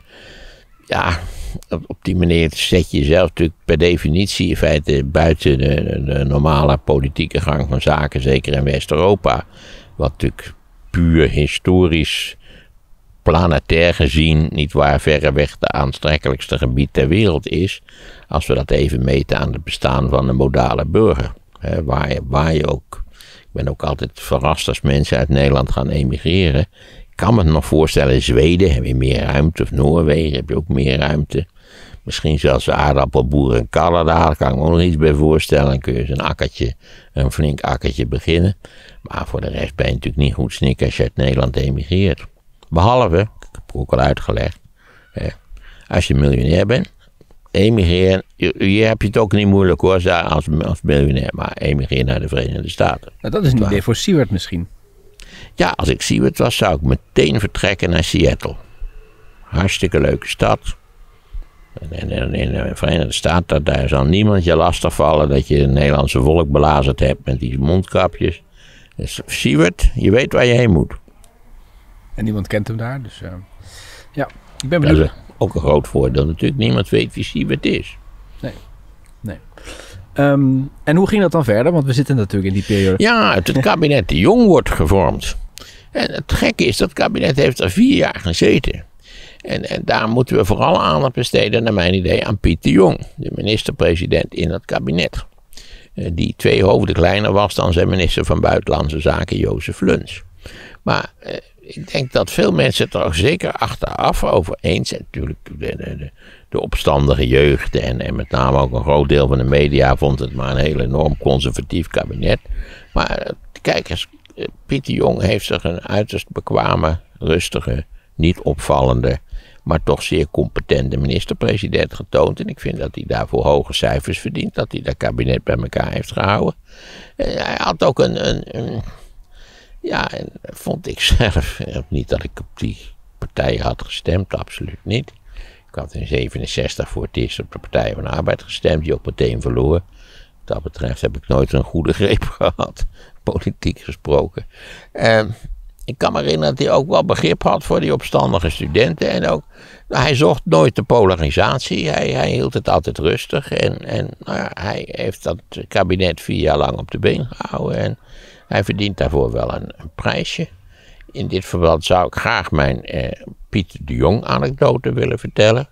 Piet de Jong is enorm oud geworden. Hij is van 101 of zo. Net als Drees ook 101. Allebei heel competente minister-presidenten. En kennelijk is dat niet een probleem eh, waardoor je jong sterft. Want ze zijn allebei dus ontzettend oud geworden. Ik liep in de grote hal van het Utrechtse station. u weet, een, een heel aardig station. Of althans een hele aardige hal. Alleen heeft Utrecht geen stationsgebouw. Dat hebben we hier in Utrecht hebben we dat afgebroken in de jaren 70. Utrecht moest opgestoten worden in de vaart der volkeren. En er was een alleraardig station. Een prachtig stationsplein waar iets mee te doen was geweest. En dat is allemaal vernietigd in verband met de aanleg van Hoog Katerijnen. Ga even kijken. Vooral dat stukje tussen de stad en het station maakt een enorme aanmoeige, lullige indruk. Ook een halve eeuw later ongeveer. Maar goed, ik loop in die hal. Hier zit ik, mijn afdwalen is een ziekte. Ik loop in die hal en ik denk, verrek, daar loopt Piet de Jong. Kijk nog eens goed. Ja, ik wist absoluut zeker. Ik wist hoe Piet de Jong eruit zag. Sterker nog, ik herkende hem zelfs aan een, had een soort van tasje. Een, een betrekkelijk bescheiden tasje had hij bij zich. En hij stapte kordaat door die hal. En toen dacht ik, dit is toch een wonderlijke zaak. Het was duidelijk dat ik de enige persoon was in die hele hal die in de gaten had dat het Piet de Jong was. Eh, want hij werd verder op geen enkele wijze gegroet of, of van, goh, wat leuk meneer de Jong dat we u... Nou ja, nee, 0,0. Hij was natuurlijk ook veel te weinig op televisie geweest. Hè. Als, je moet je voorstellen, als Frans Bauer door die hal zou zijn gelopen. Oh. Nou ja, dat geeft in Nederland ook de prioriteiten heel aardig aan. Ik heb hem natuurlijk van, ik ken hem ook niet, dus ik heb hem niet aangesproken of lastig gevallen. Maar ik dacht bij mezelf, dit is een van onze ex-minister-presidenten. Bovendien een hele succesvolle ex-minister-president. Bovendien ook nog een oorlogsheld, duikbootkapitein en was van alles en nog wat geweest. Dit is toch heel bijzonder dat hij hier als volstrekte anonimus door die hal kan lopen. Stel je voor dat dit een ex-Amerikaanse president was geweest. Die in een stationshal in, weet ik veel, een van die grote stations in Amerika door de hal zou zijn gelopen. Dat zou helemaal niet gekund hebben. Daar was een, security detail geweest. Er had een helikopter boven het station gehangen. Nou ja, het was opwinding in de tent geweest. Er waren journalisten nou, enzovoort. En ik vond dat eigenlijk, hoe gek het ook klinkt, eh, ik vond het reclame voor Nederland. Dat die man, competente, voortreffelijke minister-president, dat hij daar kon lopen zonder herkend te worden. Zou Rutte denk ik nu niet meer lukken. Die ik overigens ook wel eens in de stationshal ben tegengekomen. Waar die vrijwel iedereen groette die die tegenkwam. Dat viel me wel op toen. Ja, je ziet, je moet in die stationshal zijn om daar nog eens een, een politicus te zien in het Ja. wild. Ik heb het ook wel vaak met, met Paul Rozemuller. Die zag heb ik ook heel veel op het station in. eh dat was dan geen minister-president of maar, maar op het eh, station in Utrecht was hij niet meer politiek actief. Maar die, die eh, regelmatig daar gezien inderdaad. En, maar Rutte kan wel fietsen. Dat is natuurlijk op zich ook. eh, Rutte kan fietsen. Je weet ook, Adolf Hitler kan fietsen, kon fietsen. Ja, sorry dat ik dat nu... eh, Ja, er is ooit iemand die heeft dat uitgezocht of Hitler kon fietsen. Vandaar dat ik altijd, als er wordt gezegd, Rutte kan fietsen. Of elke, ja, fietsen is niet zo moeilijk natuurlijk. hè? Ja, je moet het, eh, het beste kun je het op vrij jeugdige leeftijd leren. En als je het dan af en toe blijft doen, dan gaat het wel met het fietsen, toch? Ja, maar ik zal me herformuleren. Hij is in de gelegenheid om ehm, van zijn eh, huis naar zijn werk te fietsen. Ja, dat is een hele bijzondere Nederlandse omstandigheid. Eh, namelijk dat hij, voor zover ik dat kan zien, niet, eh, geen bewakings... eh, Dat schijnt wel zo te zijn.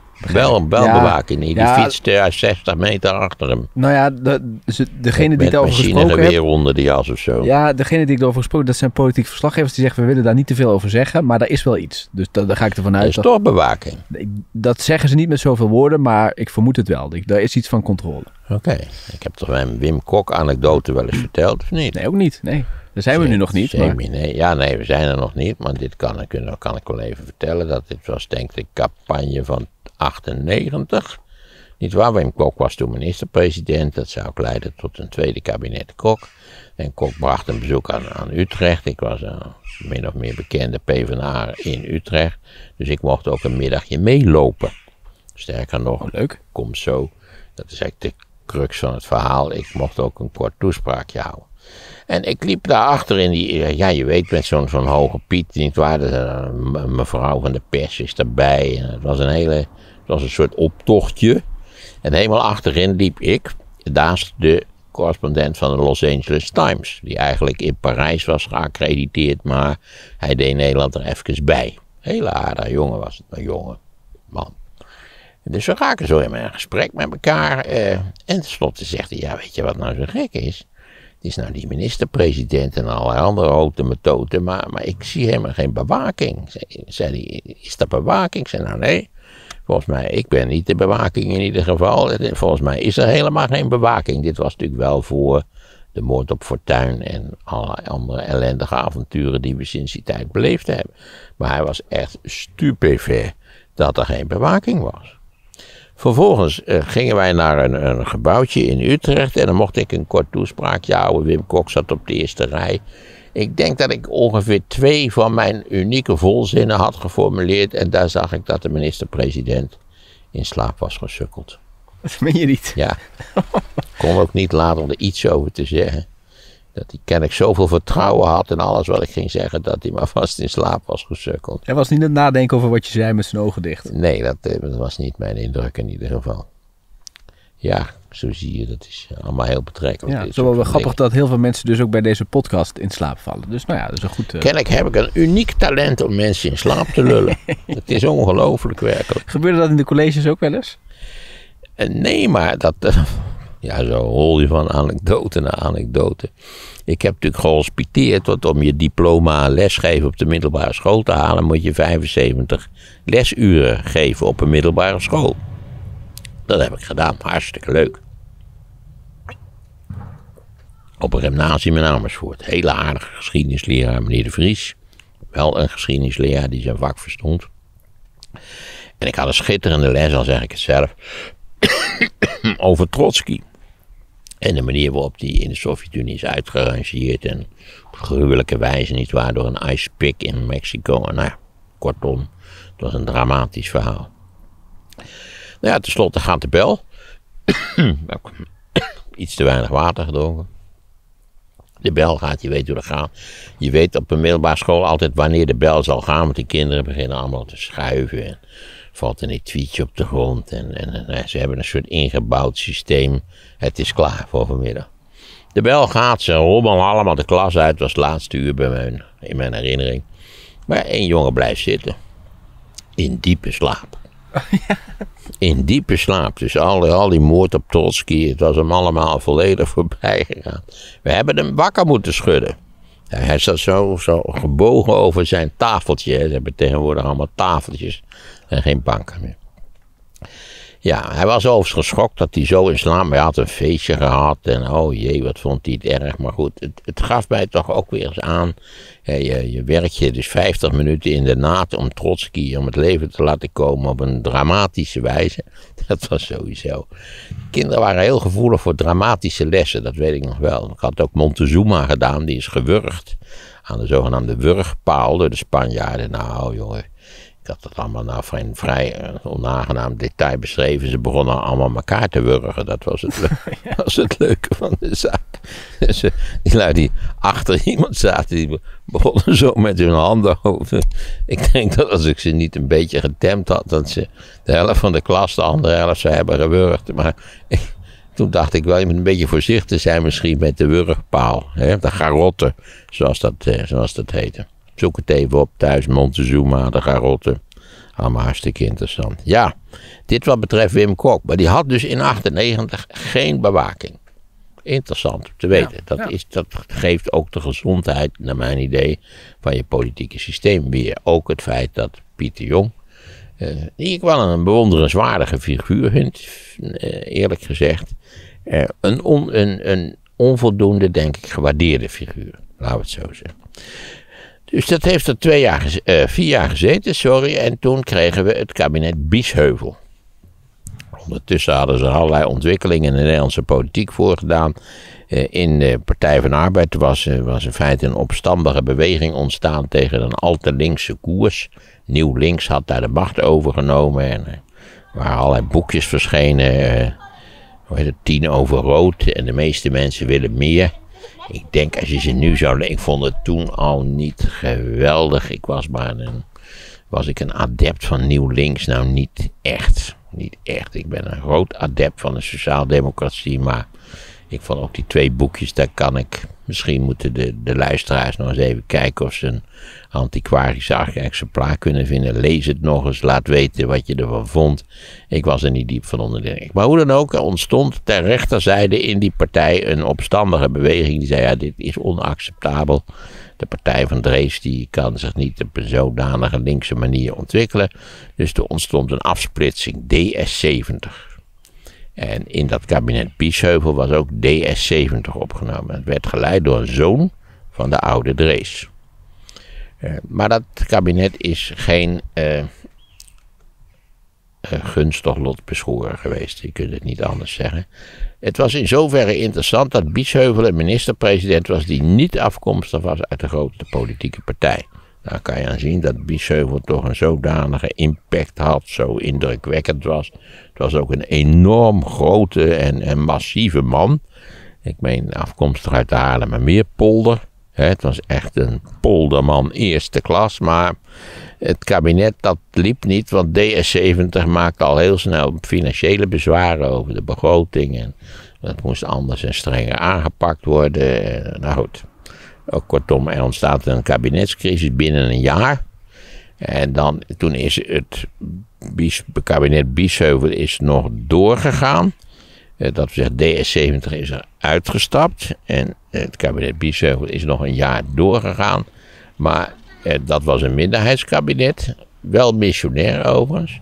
Maar het was toch een minderheidskabinet. En zodoende zijn we aan verkiezing in 72 gekomen. Ja, wat moet ik over Biesheuvel zeggen? Ja, dat was wel een man van gewicht en gezag. Maar, maar niet een geweldige minister-president. Vergelijk het met Pieter Jong. Met zoveel minder aanzien, gezag enzovoort. Maar bescheiden, competent. Uh, ja, iemand die, die waarschijnlijk ook wist van pap en nat. Misschien als je in staat bent om een duikboot te runnen dan ben je in staat om alles te runnen. Zo, zoiets dergelijks. Hè? Zoals je als, Als je als spreker voor zalen met studenten succesvol bent, dan kun je in principe voor alle soorten van publiek optreden. Met één fundamentele uitzondering: mannen die iets gedronken hebben.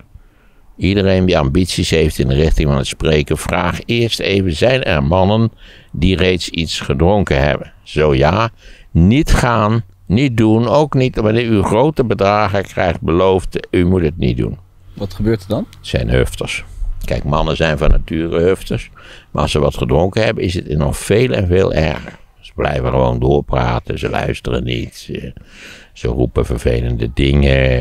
eh, nou, kortom, eh, sowieso moet je niet, in principe moet je vermijden dat je ergens bent waar al gedronken is. Dat ze na jou gaan drinken, dat, moeten ze allemaal volledig zelf weten. Maar je moet niet ergens heen gaan waar al gedronken is. Heb je dat wel eens meegemaakt dan? Ja, dat heb ik meerdere malen meegemaakt. Ja. Ga trouwens ook niet spreken als er een lopend buffet is. Want dat gerammel van die vorken en die messen, dat is een ramp. Ga niet spreken op varende schepen. Want het blijkt altijd dat jij namelijk altijd boven de twee reusachtige dieselmotoren staat. Zodat het nauwelijks verstaanbaar is. Weet je, en dan tegelijkertijd nog een lopend buffet erbij. Vraag al die dingetjes eerst even. Is er een buffet? Als er een buffet is, dan spreek je voor het buffet. Want dan hebben ze ook nog niks gedronken. Liefst ook dat de dieselmotoren even uitgeschakeld kunnen worden. Dus nou ja, heeft de, de ambitieuze jonge spreker heeft nu al een reeks fundamentele levenslessen. Maar je hebt, dus, je hebt dus al een keer op een boot gesproken boven dieselmotoren waar, en, en op plekken waar lopende buffet en ja, dit, zijn maar sterker nog, die, die, die boot met die twee dieselmotoren. Want ik stond op dat, ja, die zat natuurlijk aan de achterkant, begrijp je. Daar was ook tegelijkertijd een lopend buffet. En daar moest ik dus spreken. Ja, dat is niet te doen. Luistert er überhaupt iemand? Nee, volgens mij niet. Nee. Ja, ik, ik raak dan altijd geïrriteerd. Dus dan, dan, dan ga je over tot publicumsbeschimpfung, zoals dat zo treffend heet. Wat op zichzelf heel fijn werken is. Maar daarvoor ben je toch eigenlijk niet gekomen. En dat houdt in? Nou, dat je, dat je, dat je de draak steekt met je publiek. Ja, ja. Ja, af en toe. Meestal is het publiek heel gewillig en, en luistervaardig. En, en vinden ze het allemaal hartstikke leuk. Zeker als ze ervoor betaald hebben. Dit is natuurlijk typisch zo'n evenement waar ze niet voor. Waar hebben ze misschien voor het evenement betaald, maar niet voor mij. Zal ik maar zeggen. Nee. En ben je een soort van attractie eigenlijk. Ja, ik heb ook wel eens gesproken. Ook zo'n. zo'n ja, ook allemaal zakenlui. God, dat was in Schiedam. Ook, ja, hadden ook wat gedronken. En die stonden. Moet je ook even vragen. Staan ze? Mocht het publiek staan, ga niet. Nee.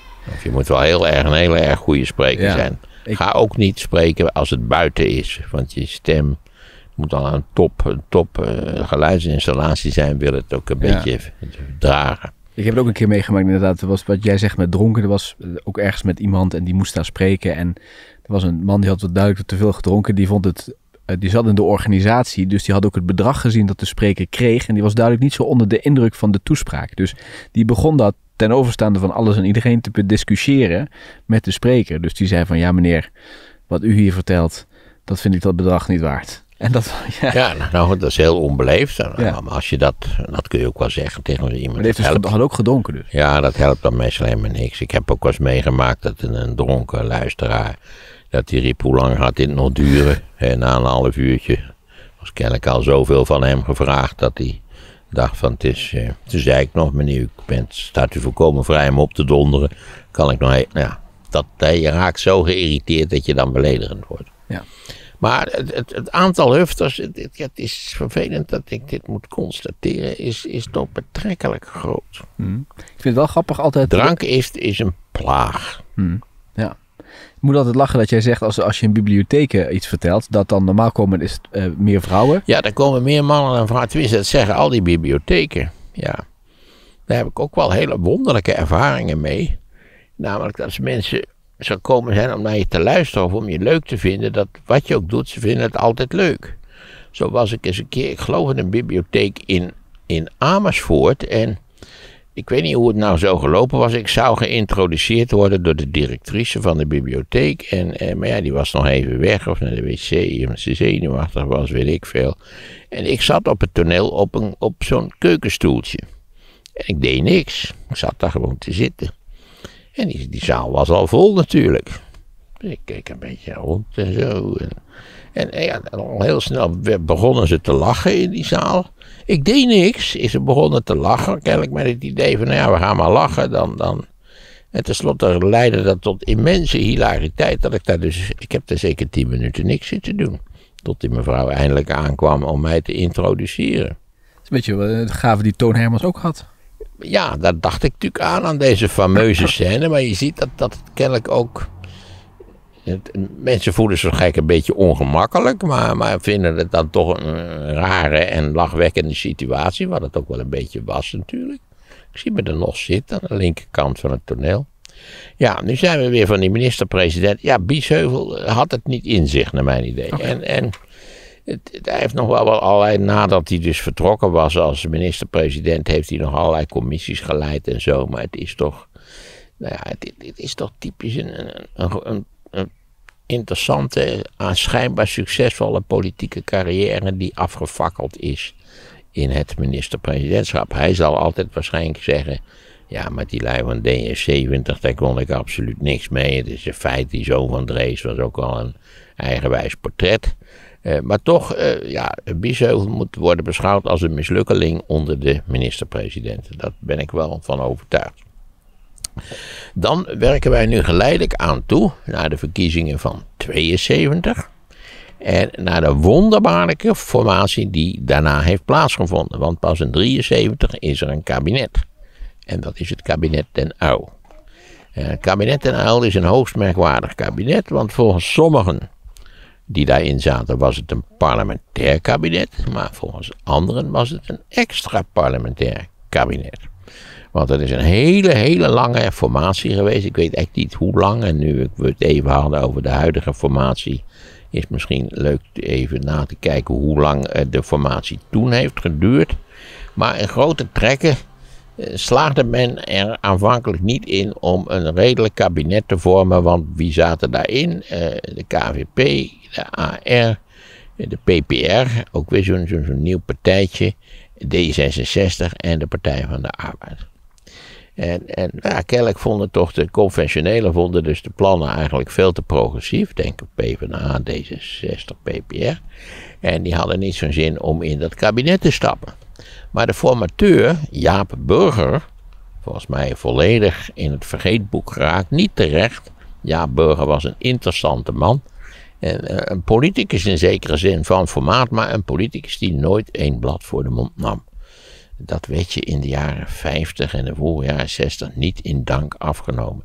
Men vond Burger onbeleefd en onheus. En zodoende is Burger op een goed moment, hij was een tijdje fractieleider van de PvdA in de Tweede Kamer. Ten slotte is Burger vertrokken.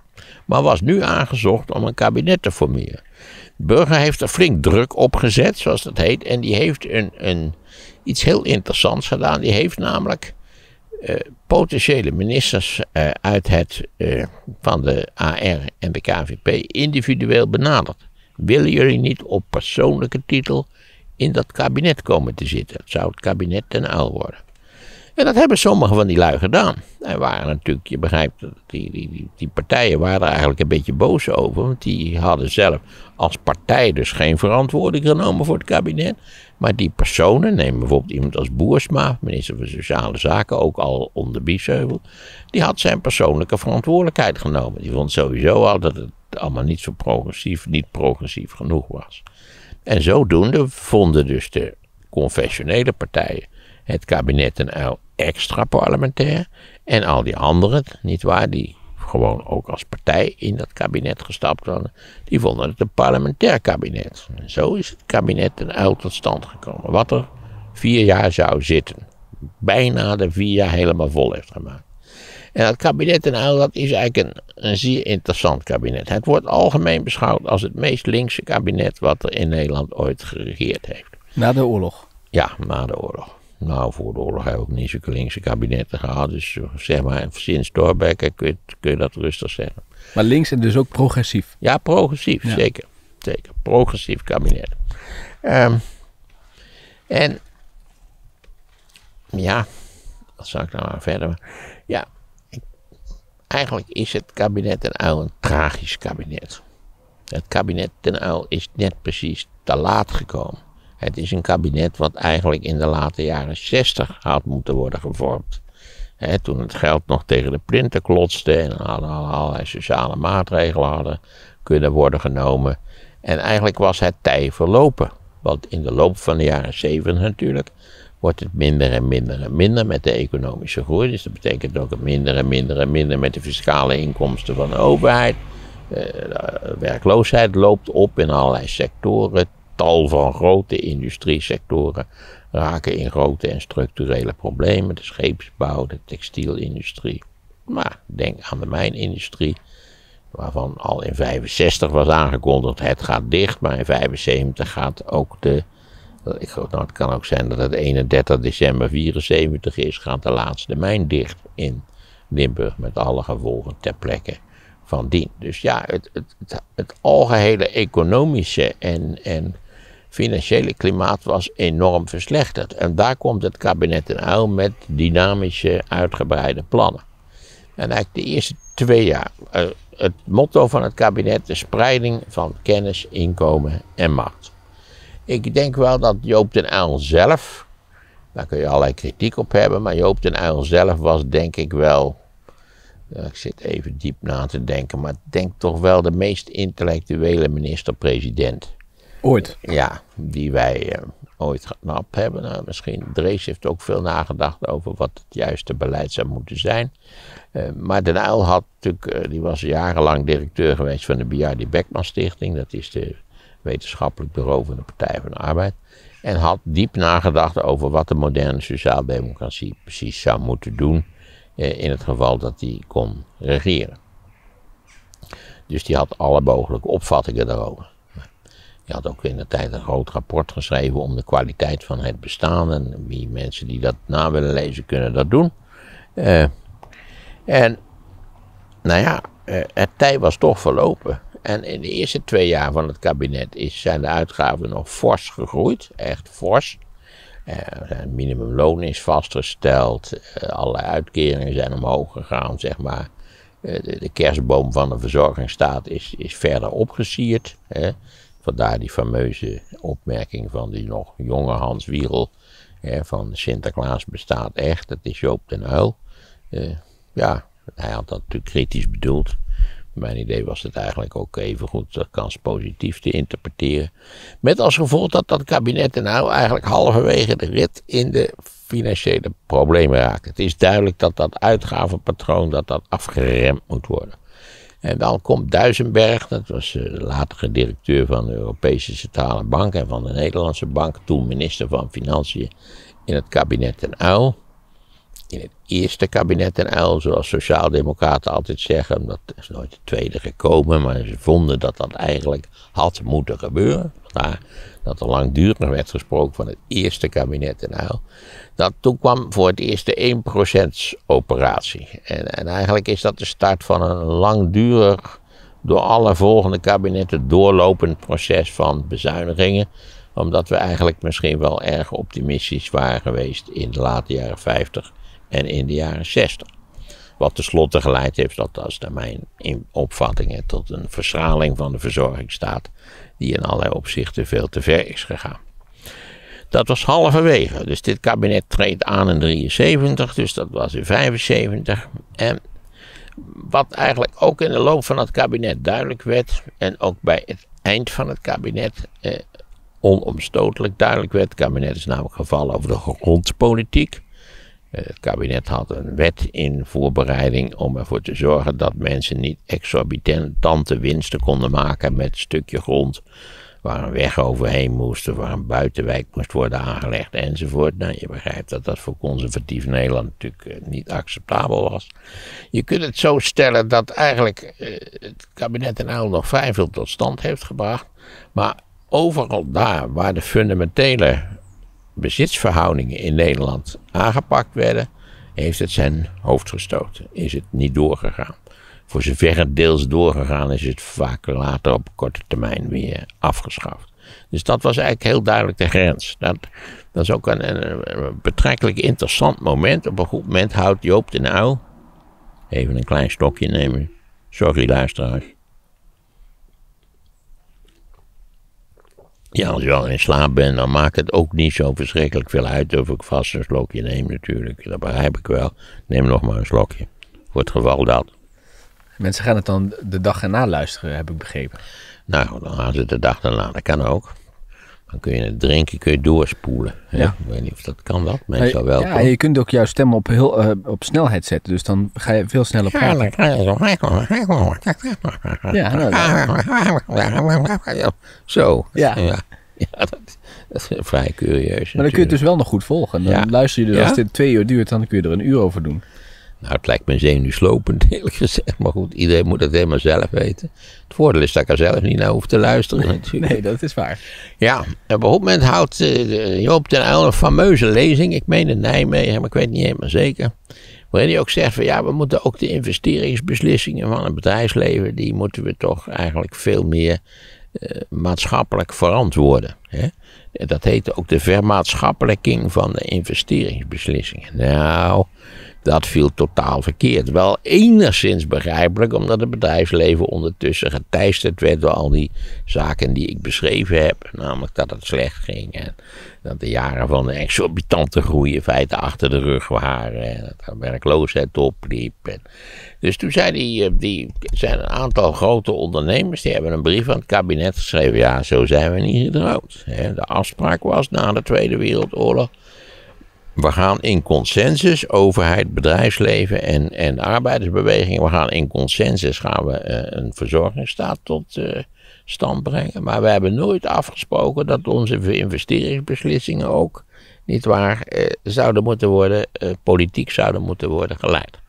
Nee, dat was inderdaad nooit afgesproken. Het is er natuurlijk ook, dat begrijp je ook al wel, helemaal niet van gekomen. En, en ja, er zit toch een tragiek in het kabinet ten uil. Dat, dat, het was gewoon te laat. Het, was, het, het, het, het tij was verlopen. Ze hebben niks kunnen realiseren, ondanks de Ja, ze hebben wel ze hebben allerlei punten, wat ik al zei. Dus uitkeringen zijn omhoog gegaan en nieuwe regelingen gekomen. Het uitgavenpatroon is enorm gestegen. Maar het, het heeft niet gebracht, denk ik, wat veel mensen ervan hadden verwacht. Je zou eens kunnen zeggen, het kabinet ten Uyl had eigenlijk aan de macht moeten komen in, in, toen Kals aan de macht kwam. Hè? Maar ja, die is ook heel snel de nek omgedraaid door de KVP Ja, maar hè. omdat je dus steeds eigenlijk in Nederland met het probleem zit dat Nederland, eh, anders dan sommige mensen denken, helemaal niet een bijzonder linksig land is.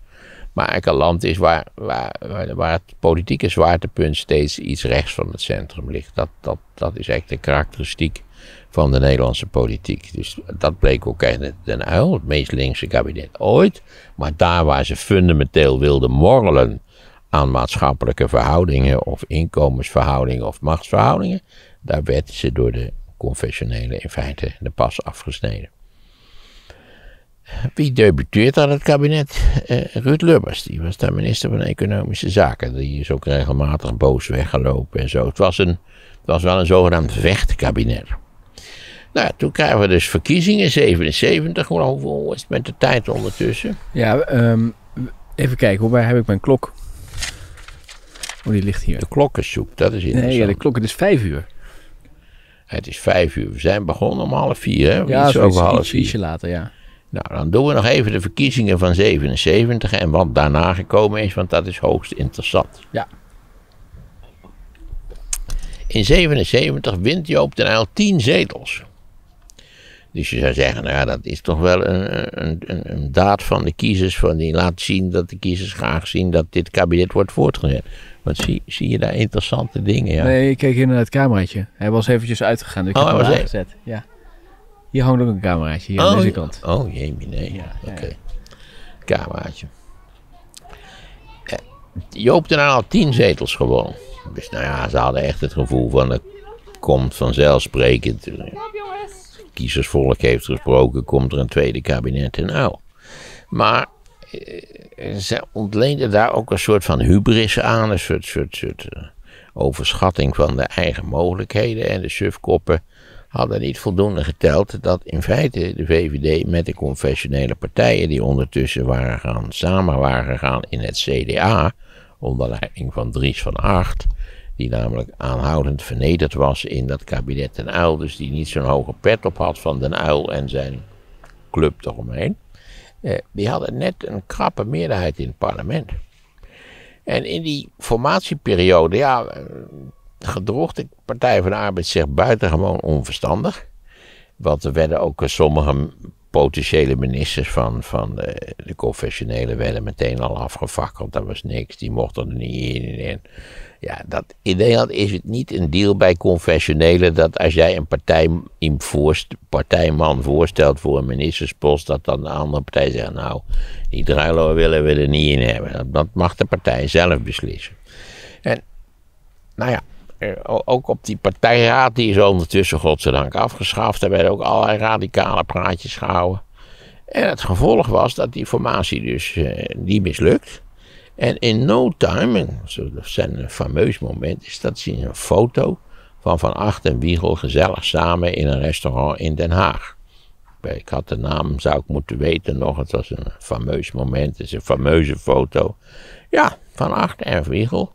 Uh, vandaag dacht ik, ben ik meteen van die de af. Hè, dat komt goed uit. Niks dan narigheid mee gehad. En ja, en Wiegel kon natuurlijk ook victorie krijgen. Dus er komt een kabinet van acht Wiegel. Uh, en dat heeft ook vier jaar gezeten.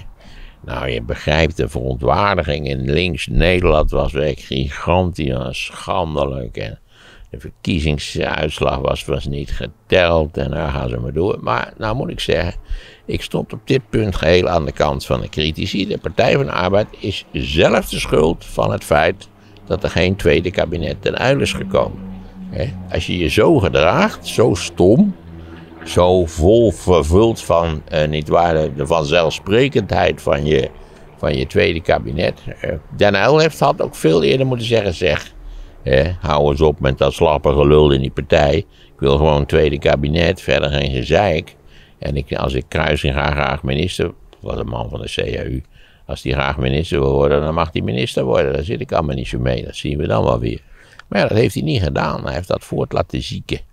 Dus ja, het, het kabinet eh, Wiegel en Van Acht, wat misschien niet bepaald in overeenstemming was met de verkiezingsuitslag, het had een meerderheid in de Kamer.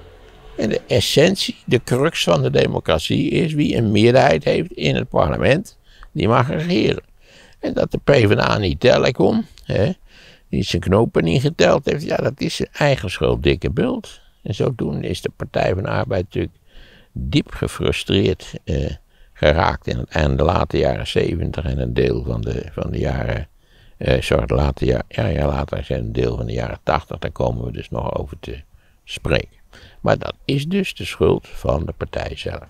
We kunnen kort even samenvatten het kabinet van Acht Wiegel, want dat bood zich aan als de puinruimers. Zij zouden een ingrijpende sanering van een hele financiële plaatje van de overheid, dat zou door Van Acht Wiegel uit worden gevoerd. Eh, de puinruimers hebben de puinberg, financieel gezien, dan ongeveer tweemaal zo groot gemaakt als die was toen ze begonnen. Ja, van acht wiegel, ze konden goed samen opschieten, gezellige types, maar het was een waardeloos kabinet. Daar zullen we het de volgende keer verder over hebben dan. Oké, wordt vervolgd. Tijd nog een, om een paar korte vragen te doen? Dat kan nog wel even. Even kijken. Ik kondigde al aan, dit is een hele korte van Frits uh, Die zegt namelijk, uh, Spanje, daar heb je het eerder over gehad, is een tweede rangsland. Hij uh, bevestigt dat beeld, dat heb jij eerder gezegd. Zegt Maarten heeft helemaal gelijk. Ik woon en werk regelmatig in Spanje. Nou, ik denk dat, dat hij er regelmatig dus ook woont, maar misschien ook deels in Nederland. Helaas zegt hij er wel bij. De vraag is een beetje ja, hoe jij de toekomst van Europa ziet. En dat mag ik kort beantwoorden, gezien het feit dat er dus onderscheid wordt gemaakt tussen eerste en tweede en misschien wel derde rangslanden. Ja, er is een aanzienlijk verschil tussen Noord-Europa, Oost-Europa en Zuid-Europa. We hebben nu weer een hele trammeland met een, een, nieuwe wetgeving van Orbán in Hongarije. Moeten we het volgende keer misschien maar eens even over hebben. Wat daar aan te doen valt. Ik denk niet zo verschrikkelijk veel. We zitten daar toch wel in een soort van klemsituatie. Uh, en het feit is dat uh, economisch, sociaal-economisch, natuurlijk er grote verschillen in de EU zijn. Maar die zijn wel overbrugbaar, naar mijn idee. Uh, dat betekent dat we een zeker begrip moeten hebben voor de problemen in Zuid-Europa, dus zeg maar de mediterrane landen, waarbij Frankrijk in feite een soort van tussengeval is. Maar als je met de EU door wil, en dat lijkt mij op zichzelf heel erg verstandig, dan zul je ook op een aantal punten, ook de noordelijke landen, zullen water in de wijn moeten doen. Dat gebeurt nu toch Kijk, als je steeds uh, hoog van het torenblazen zegt van dat wij de enige zijn die hard werken en zo, dat is zo'n, hè, de hardwerkende Nederlander is dat. Ja, je weet, in Nederland heb je harde werkers en je hebt ook slapbakken en uh, klunzen. En, nou. Maar de VVD die werkt alleen voor hardwerkende Nederlanders. En wij als hardwerkende Nederlanders werken veel harder dan Spanjaarden, Portugezen, allemaal lui die uh, met pensioen gaan als ze 35 zijn en de hele dag op het terras zitten te zuipen. Hoezo, of weet ik wat ze nou niet drinken. Uh, feit is dat de meeste van die landen, daar worden veel meer werkuren gemaakt dan in Nederland. Alleen zijn veel minder efficiënt georganiseerde economieën. Wij hebben een hele moderne economie, maar wij werken relatief heel weinig uren. Heel weinig. Dat komt dat bij ons ontzettend veel parttime werk gedaan wordt. En er zijn ook nog organisaties die nu zelfs de werkweek die, die we hebben nog korter willen gaan maken. Maar goed, dat is voor een andere keer. Oké, dus um, samenvattend, die vraag van Frits, die, die toekomst die zie je dus wel voor je, maar we moeten de volgende keer ja, de, de, de, EU is een, een, wat je er verder van mogen denken. Ik ben er heel positief over gestemd op zichzelf. Geloof ik wel aan het bestaan van een soort Europese cultuur. Uh, maar ook als je er heel negatief over denkt, je moet het neerleggen bij de onvermijdelijkheid van de Europese Unie. Oké. Dan André van der Meer, die re reageert op een uh, uitzending over de uh, herrie van motoren. Hij zegt Maarten die heeft aangegeven dat motoren door het ontbreken van wetgeving onbeperkt herrie mogen maken. Maar zegt André dat is niet zo. Hij rijdt zelf motor. Hij zegt er is namelijk een Europese norm die een limiet stelt aan het aantal decibel dat je met een, met een voertuig mag maken. En hij zegt er is een tijdje geleden ook door de politie streng op gecontroleerd. Nu weer iets minder. Dus dat was meer een opmerking. Vanuit zijn ja, kant. misschien heeft hij zo'n BMW. je, hebt, je hebt een bekend motormodel is een BMW met een liggende tweecilinder. En dat zijn hele fatsoenlijke, rustige motoren. Waarbij dus klaarblijkelijk overtuigend bewezen kan worden dat je ook rustige motoren hebt. Eh, maar natuurlijk, als je zo'n zo'n ding hebt wat, wat zo de, de, een beetje door de toeren draait hè, en 12.000 toeren maakt op een moment, ja, dat is uh, kilometers ver te horen. Dus het kan wel zijn dat die man gelijk heeft dat er een norm is, maar die wordt niet gehandhaafd. Ja. En eigenlijk is de kern van een, over, van een zeer groot deel van onze wetgeving, het wordt niet gehandhaafd. Zoals je weet rijden we tegenwoordig verplicht 100 tussen 6 uur s ochtends en 7 uur s avonds. Je kan iedereen aanbevelen een tochtje te maken op de grote weg. En dan zul je tot je verbazing constateren dat degenen die 100 rijden zijn meestal vrachtauto's die 80 moeten rijden. En je wordt met enige regelmaat gepasseerd door, door autoren, auto's kennelijk met raketaandrijving die proberen door de geluidsbarrière te breken. Ja, over raketten gesproken. Er is geen enkele handhaving, dus ja, waarom zouden mensen het doen? Nee. Nee, alleen de trajectcontrole, daar rijden ze netjes. Hè, tussen Utrecht en Amsterdam en bij Den Haag en dat soort dingen. Niet op de A27.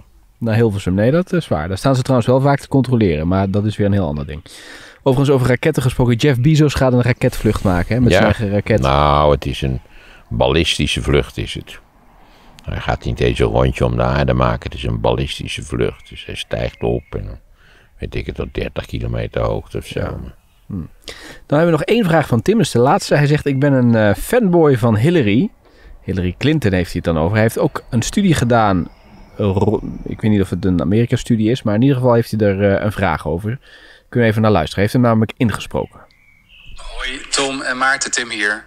Ehm, ik heb een vraag aan Maarten. Ehm, nadat zij haar verkiezing heeft verloren, heeft Hillary Clinton een autobiografie uitgebracht, What Happened, waarin ze eigenlijk reflecteert op die verkiezing.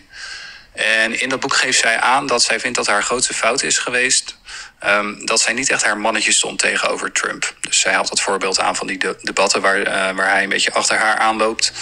Ehm, naast dat gegeven werd ik eigenlijk niet heel erg veel wijzer van, eh, van haar gedachten over... Goh, wat had ik anders kunnen doen om die verkiezingen te winnen.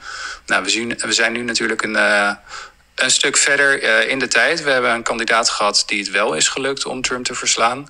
Dus ik vraag me eigenlijk af, zijn er elementen in de verkiezingen van Biden... die Hillary ook had kunnen of had moeten toepassen... Dat is een duidelijke vraag. Ja, zeker, die zijn er. Eh, Hillary Clinton heeft eh, natuurlijk in 2008 heeft ze in de voorverkiezingen van Obama verloren. En tenslotte in 2016 heeft ze de verkiezingen van Trump verloren. En de hoofdoorzaak van die beide verliezen was dat zij dacht dat ze zou winnen. Ze dacht dat ze makkelijk van Obama zou winnen, die natuurlijk een outsider en een nieuwkomer was. En ze dacht dat ze makkelijk van Trump zou winnen, die in brede zin en volkomen terecht werd gezien als een halve garen. Maar eh, Obama had zijn campagne, beter georganiseerd. Hij had ook de zaken op orde daar waar geen eh, spectaculaire voorverkiezingen waren, maar waar je wel kandidaten kon winnen voor de conventie. Dus Hillary heeft toen pijnlijk verloren. En in eh 2000, eh, wat is het, 16, hè? ja, was dat weer hetzelfde liedje. En zij dacht zeker te weten dat ze ging winnen. Met als gevolg dat ze in een aantal staten geen campagne gevoerd heeft. Wisconsin, Michigan, Pennsylvania wel iets, maar heel weinig. Ik geloof zelfs dat ze zich in Wisconsin nooit vertoond heeft. En daar, op, die, op die drie staten heeft ze verloren. Ze heeft overigens gewoon gewonnen de verkiezingen. Zoals we allemaal weten. Maar Amerika heeft nou eenmaal een volkomen krankzinnig electoraal systeem. En hij, ze heeft verloren in het electoraal college. Doordat ze die drie staten heeft verloren. Waarvan zij dacht, die ga ik wel winnen. Want die hebben allemaal sinds 92 democratisch gestemd. Dus waarom zouden ze nu, zeker met die halve haren, ineens wat anders stemmen? Nou ja, dat heeft ze verkeerd gezien. Dus haar campagneorganisatie is ingrijpend tekortgeschoten. Want die had natuurlijk waar, eh, at the grassroots moeten weten dat het helemaal niet zo makkelijk lag in Wisconsin, Michigan en Pennsylvania. En daar heeft ze overigens het steeds om flinterdunne meerderheden voor Trump. Maar ja, je kunt ook flinterdunne meerderheden voor Hillary organiseren. Dus ja, heeft, ze heeft verloren omdat ze dacht dat ze ging winnen. Dat is een hele belangrijke tip ook voor de luisteraars. Als u ergens meedoet aan een of andere competitie, als u van tevoren denkt: ik ben zo knap, ik ga vast en zeker winnen, ik kan het niet verliezen. Dat moet u maar beter niet denken. U moet altijd denken: ik zou best kunnen verliezen. En dat heeft dus Biden beter aangepakt. Die heeft dat wel gedaan. Die is daar wel naartoe gegaan. Nou ja, toen waren ze gewaarschuwd natuurlijk. Ja. Ze hadden gezien wat er in 2016 Ah, oké, was dus gebeurd. dat is makkelijk. Ja. Dat was dramatisch. Ja. Overigens over wedstrijden gesproken. De slimste is- weer helemaal, staat er weer helemaal op. Ik weet dat je niks mag zeggen. Nee, Maar nee, ik ben alles vergeten, dus ik weet het niet. Ja, het is heel gek, maar je kunt ook niet aangeven of het leuk was. normaal leuk, ja. Ik, ik, heb, ik geniet altijd van opnames van de slimste. En spectaculair? Nou, spectaculair. zeg. Het is een hele leuke, vermakelijke quiz. Spectaculair, dat is nou weer wat anders. Spectaculair was de winst van Trump in 2016. Dat was spectaculair. Ik ben wel benieuwd. nee, het was erg leuk. Het, ik, eh, ik zie het altijd als een uitje. Oké, maar de winnaar is dus nu al bekend. De winnaar is bekend, ja. Oké. Dan moet allemaal stiekem en een geheim worden gehouden. Ik hoop het wel, want dat Ja. is wel een beetje de bedoeling. Want als je natuurlijk verklapt hoe het gelopen is, ja, dan, eh, dan is de lol er wel een beetje af Ja, van het kijken, toch? Denk je dat de corona, dat, dat, dat we nu eh, over het ergste heen zijn? Nou, dat is, ja, dat is wel duidelijk, maar we zijn daarmee begonnen met eh, observeren dat ze in, in, in Israël, best gevaccineerde landen enzovoort. Dus we moeten het enorm scherp in de gaten houden. Als je denkt van, nou, er is helemaal niks meer aan de hand, we zijn daar helemaal mee klaar. Ik denk dat dat een eh, misvatting is. Het is een beetje net als met dat winnen. Hè? Als je denkt, nou, we hebben gewonnen, corona heeft verloren, 10-0. Nee, nee, dat is het niet. Oké. Het is misschien 1-1 op dit moment, maar we moeten dat echt eh, eh, de vinger aan de pols houden. Oké. Moeten de Koude Oorlog deel 2 nog eh, eventjes een keer plannen? Jemie, nee, dat moeten we ook nog doen. Koude Oorlog deel 2 zeg. Het is... ik krijg toch een last van mijn linkerbil. Ja, dat snap ik. We gaan afronden. Heb je al friet gegeten deze week? Ja, geloof het wel. Hoe heet het van die... die friet van zoete aardappelen. Oh, dat lijkt me niet lekker. Ja, dat is heerlijk. Ja? Ja. Het is gezond wel. Nou, ik weet- of, ik weet niet of het gezond is. Daar hou ik me niet al te veel mee Dit is bezig. van die oranje aardappel? Ja, en het, het, het is een, eh, ik heb als eerder op Texel had ik alles friet van eh, zoete aardappelen gegeten. En ik vind het ontzettend lekker. Het smaakt anders dan de gele Ja, het smaakt wel een beetje anders, maar het is toch erg lekker. Oké. Nou, Het, het, voor mij kan het gewoon onder hetzelfde hoofdstukje friet, kan het in het eh, boek van dingen die lekker zijn. oké.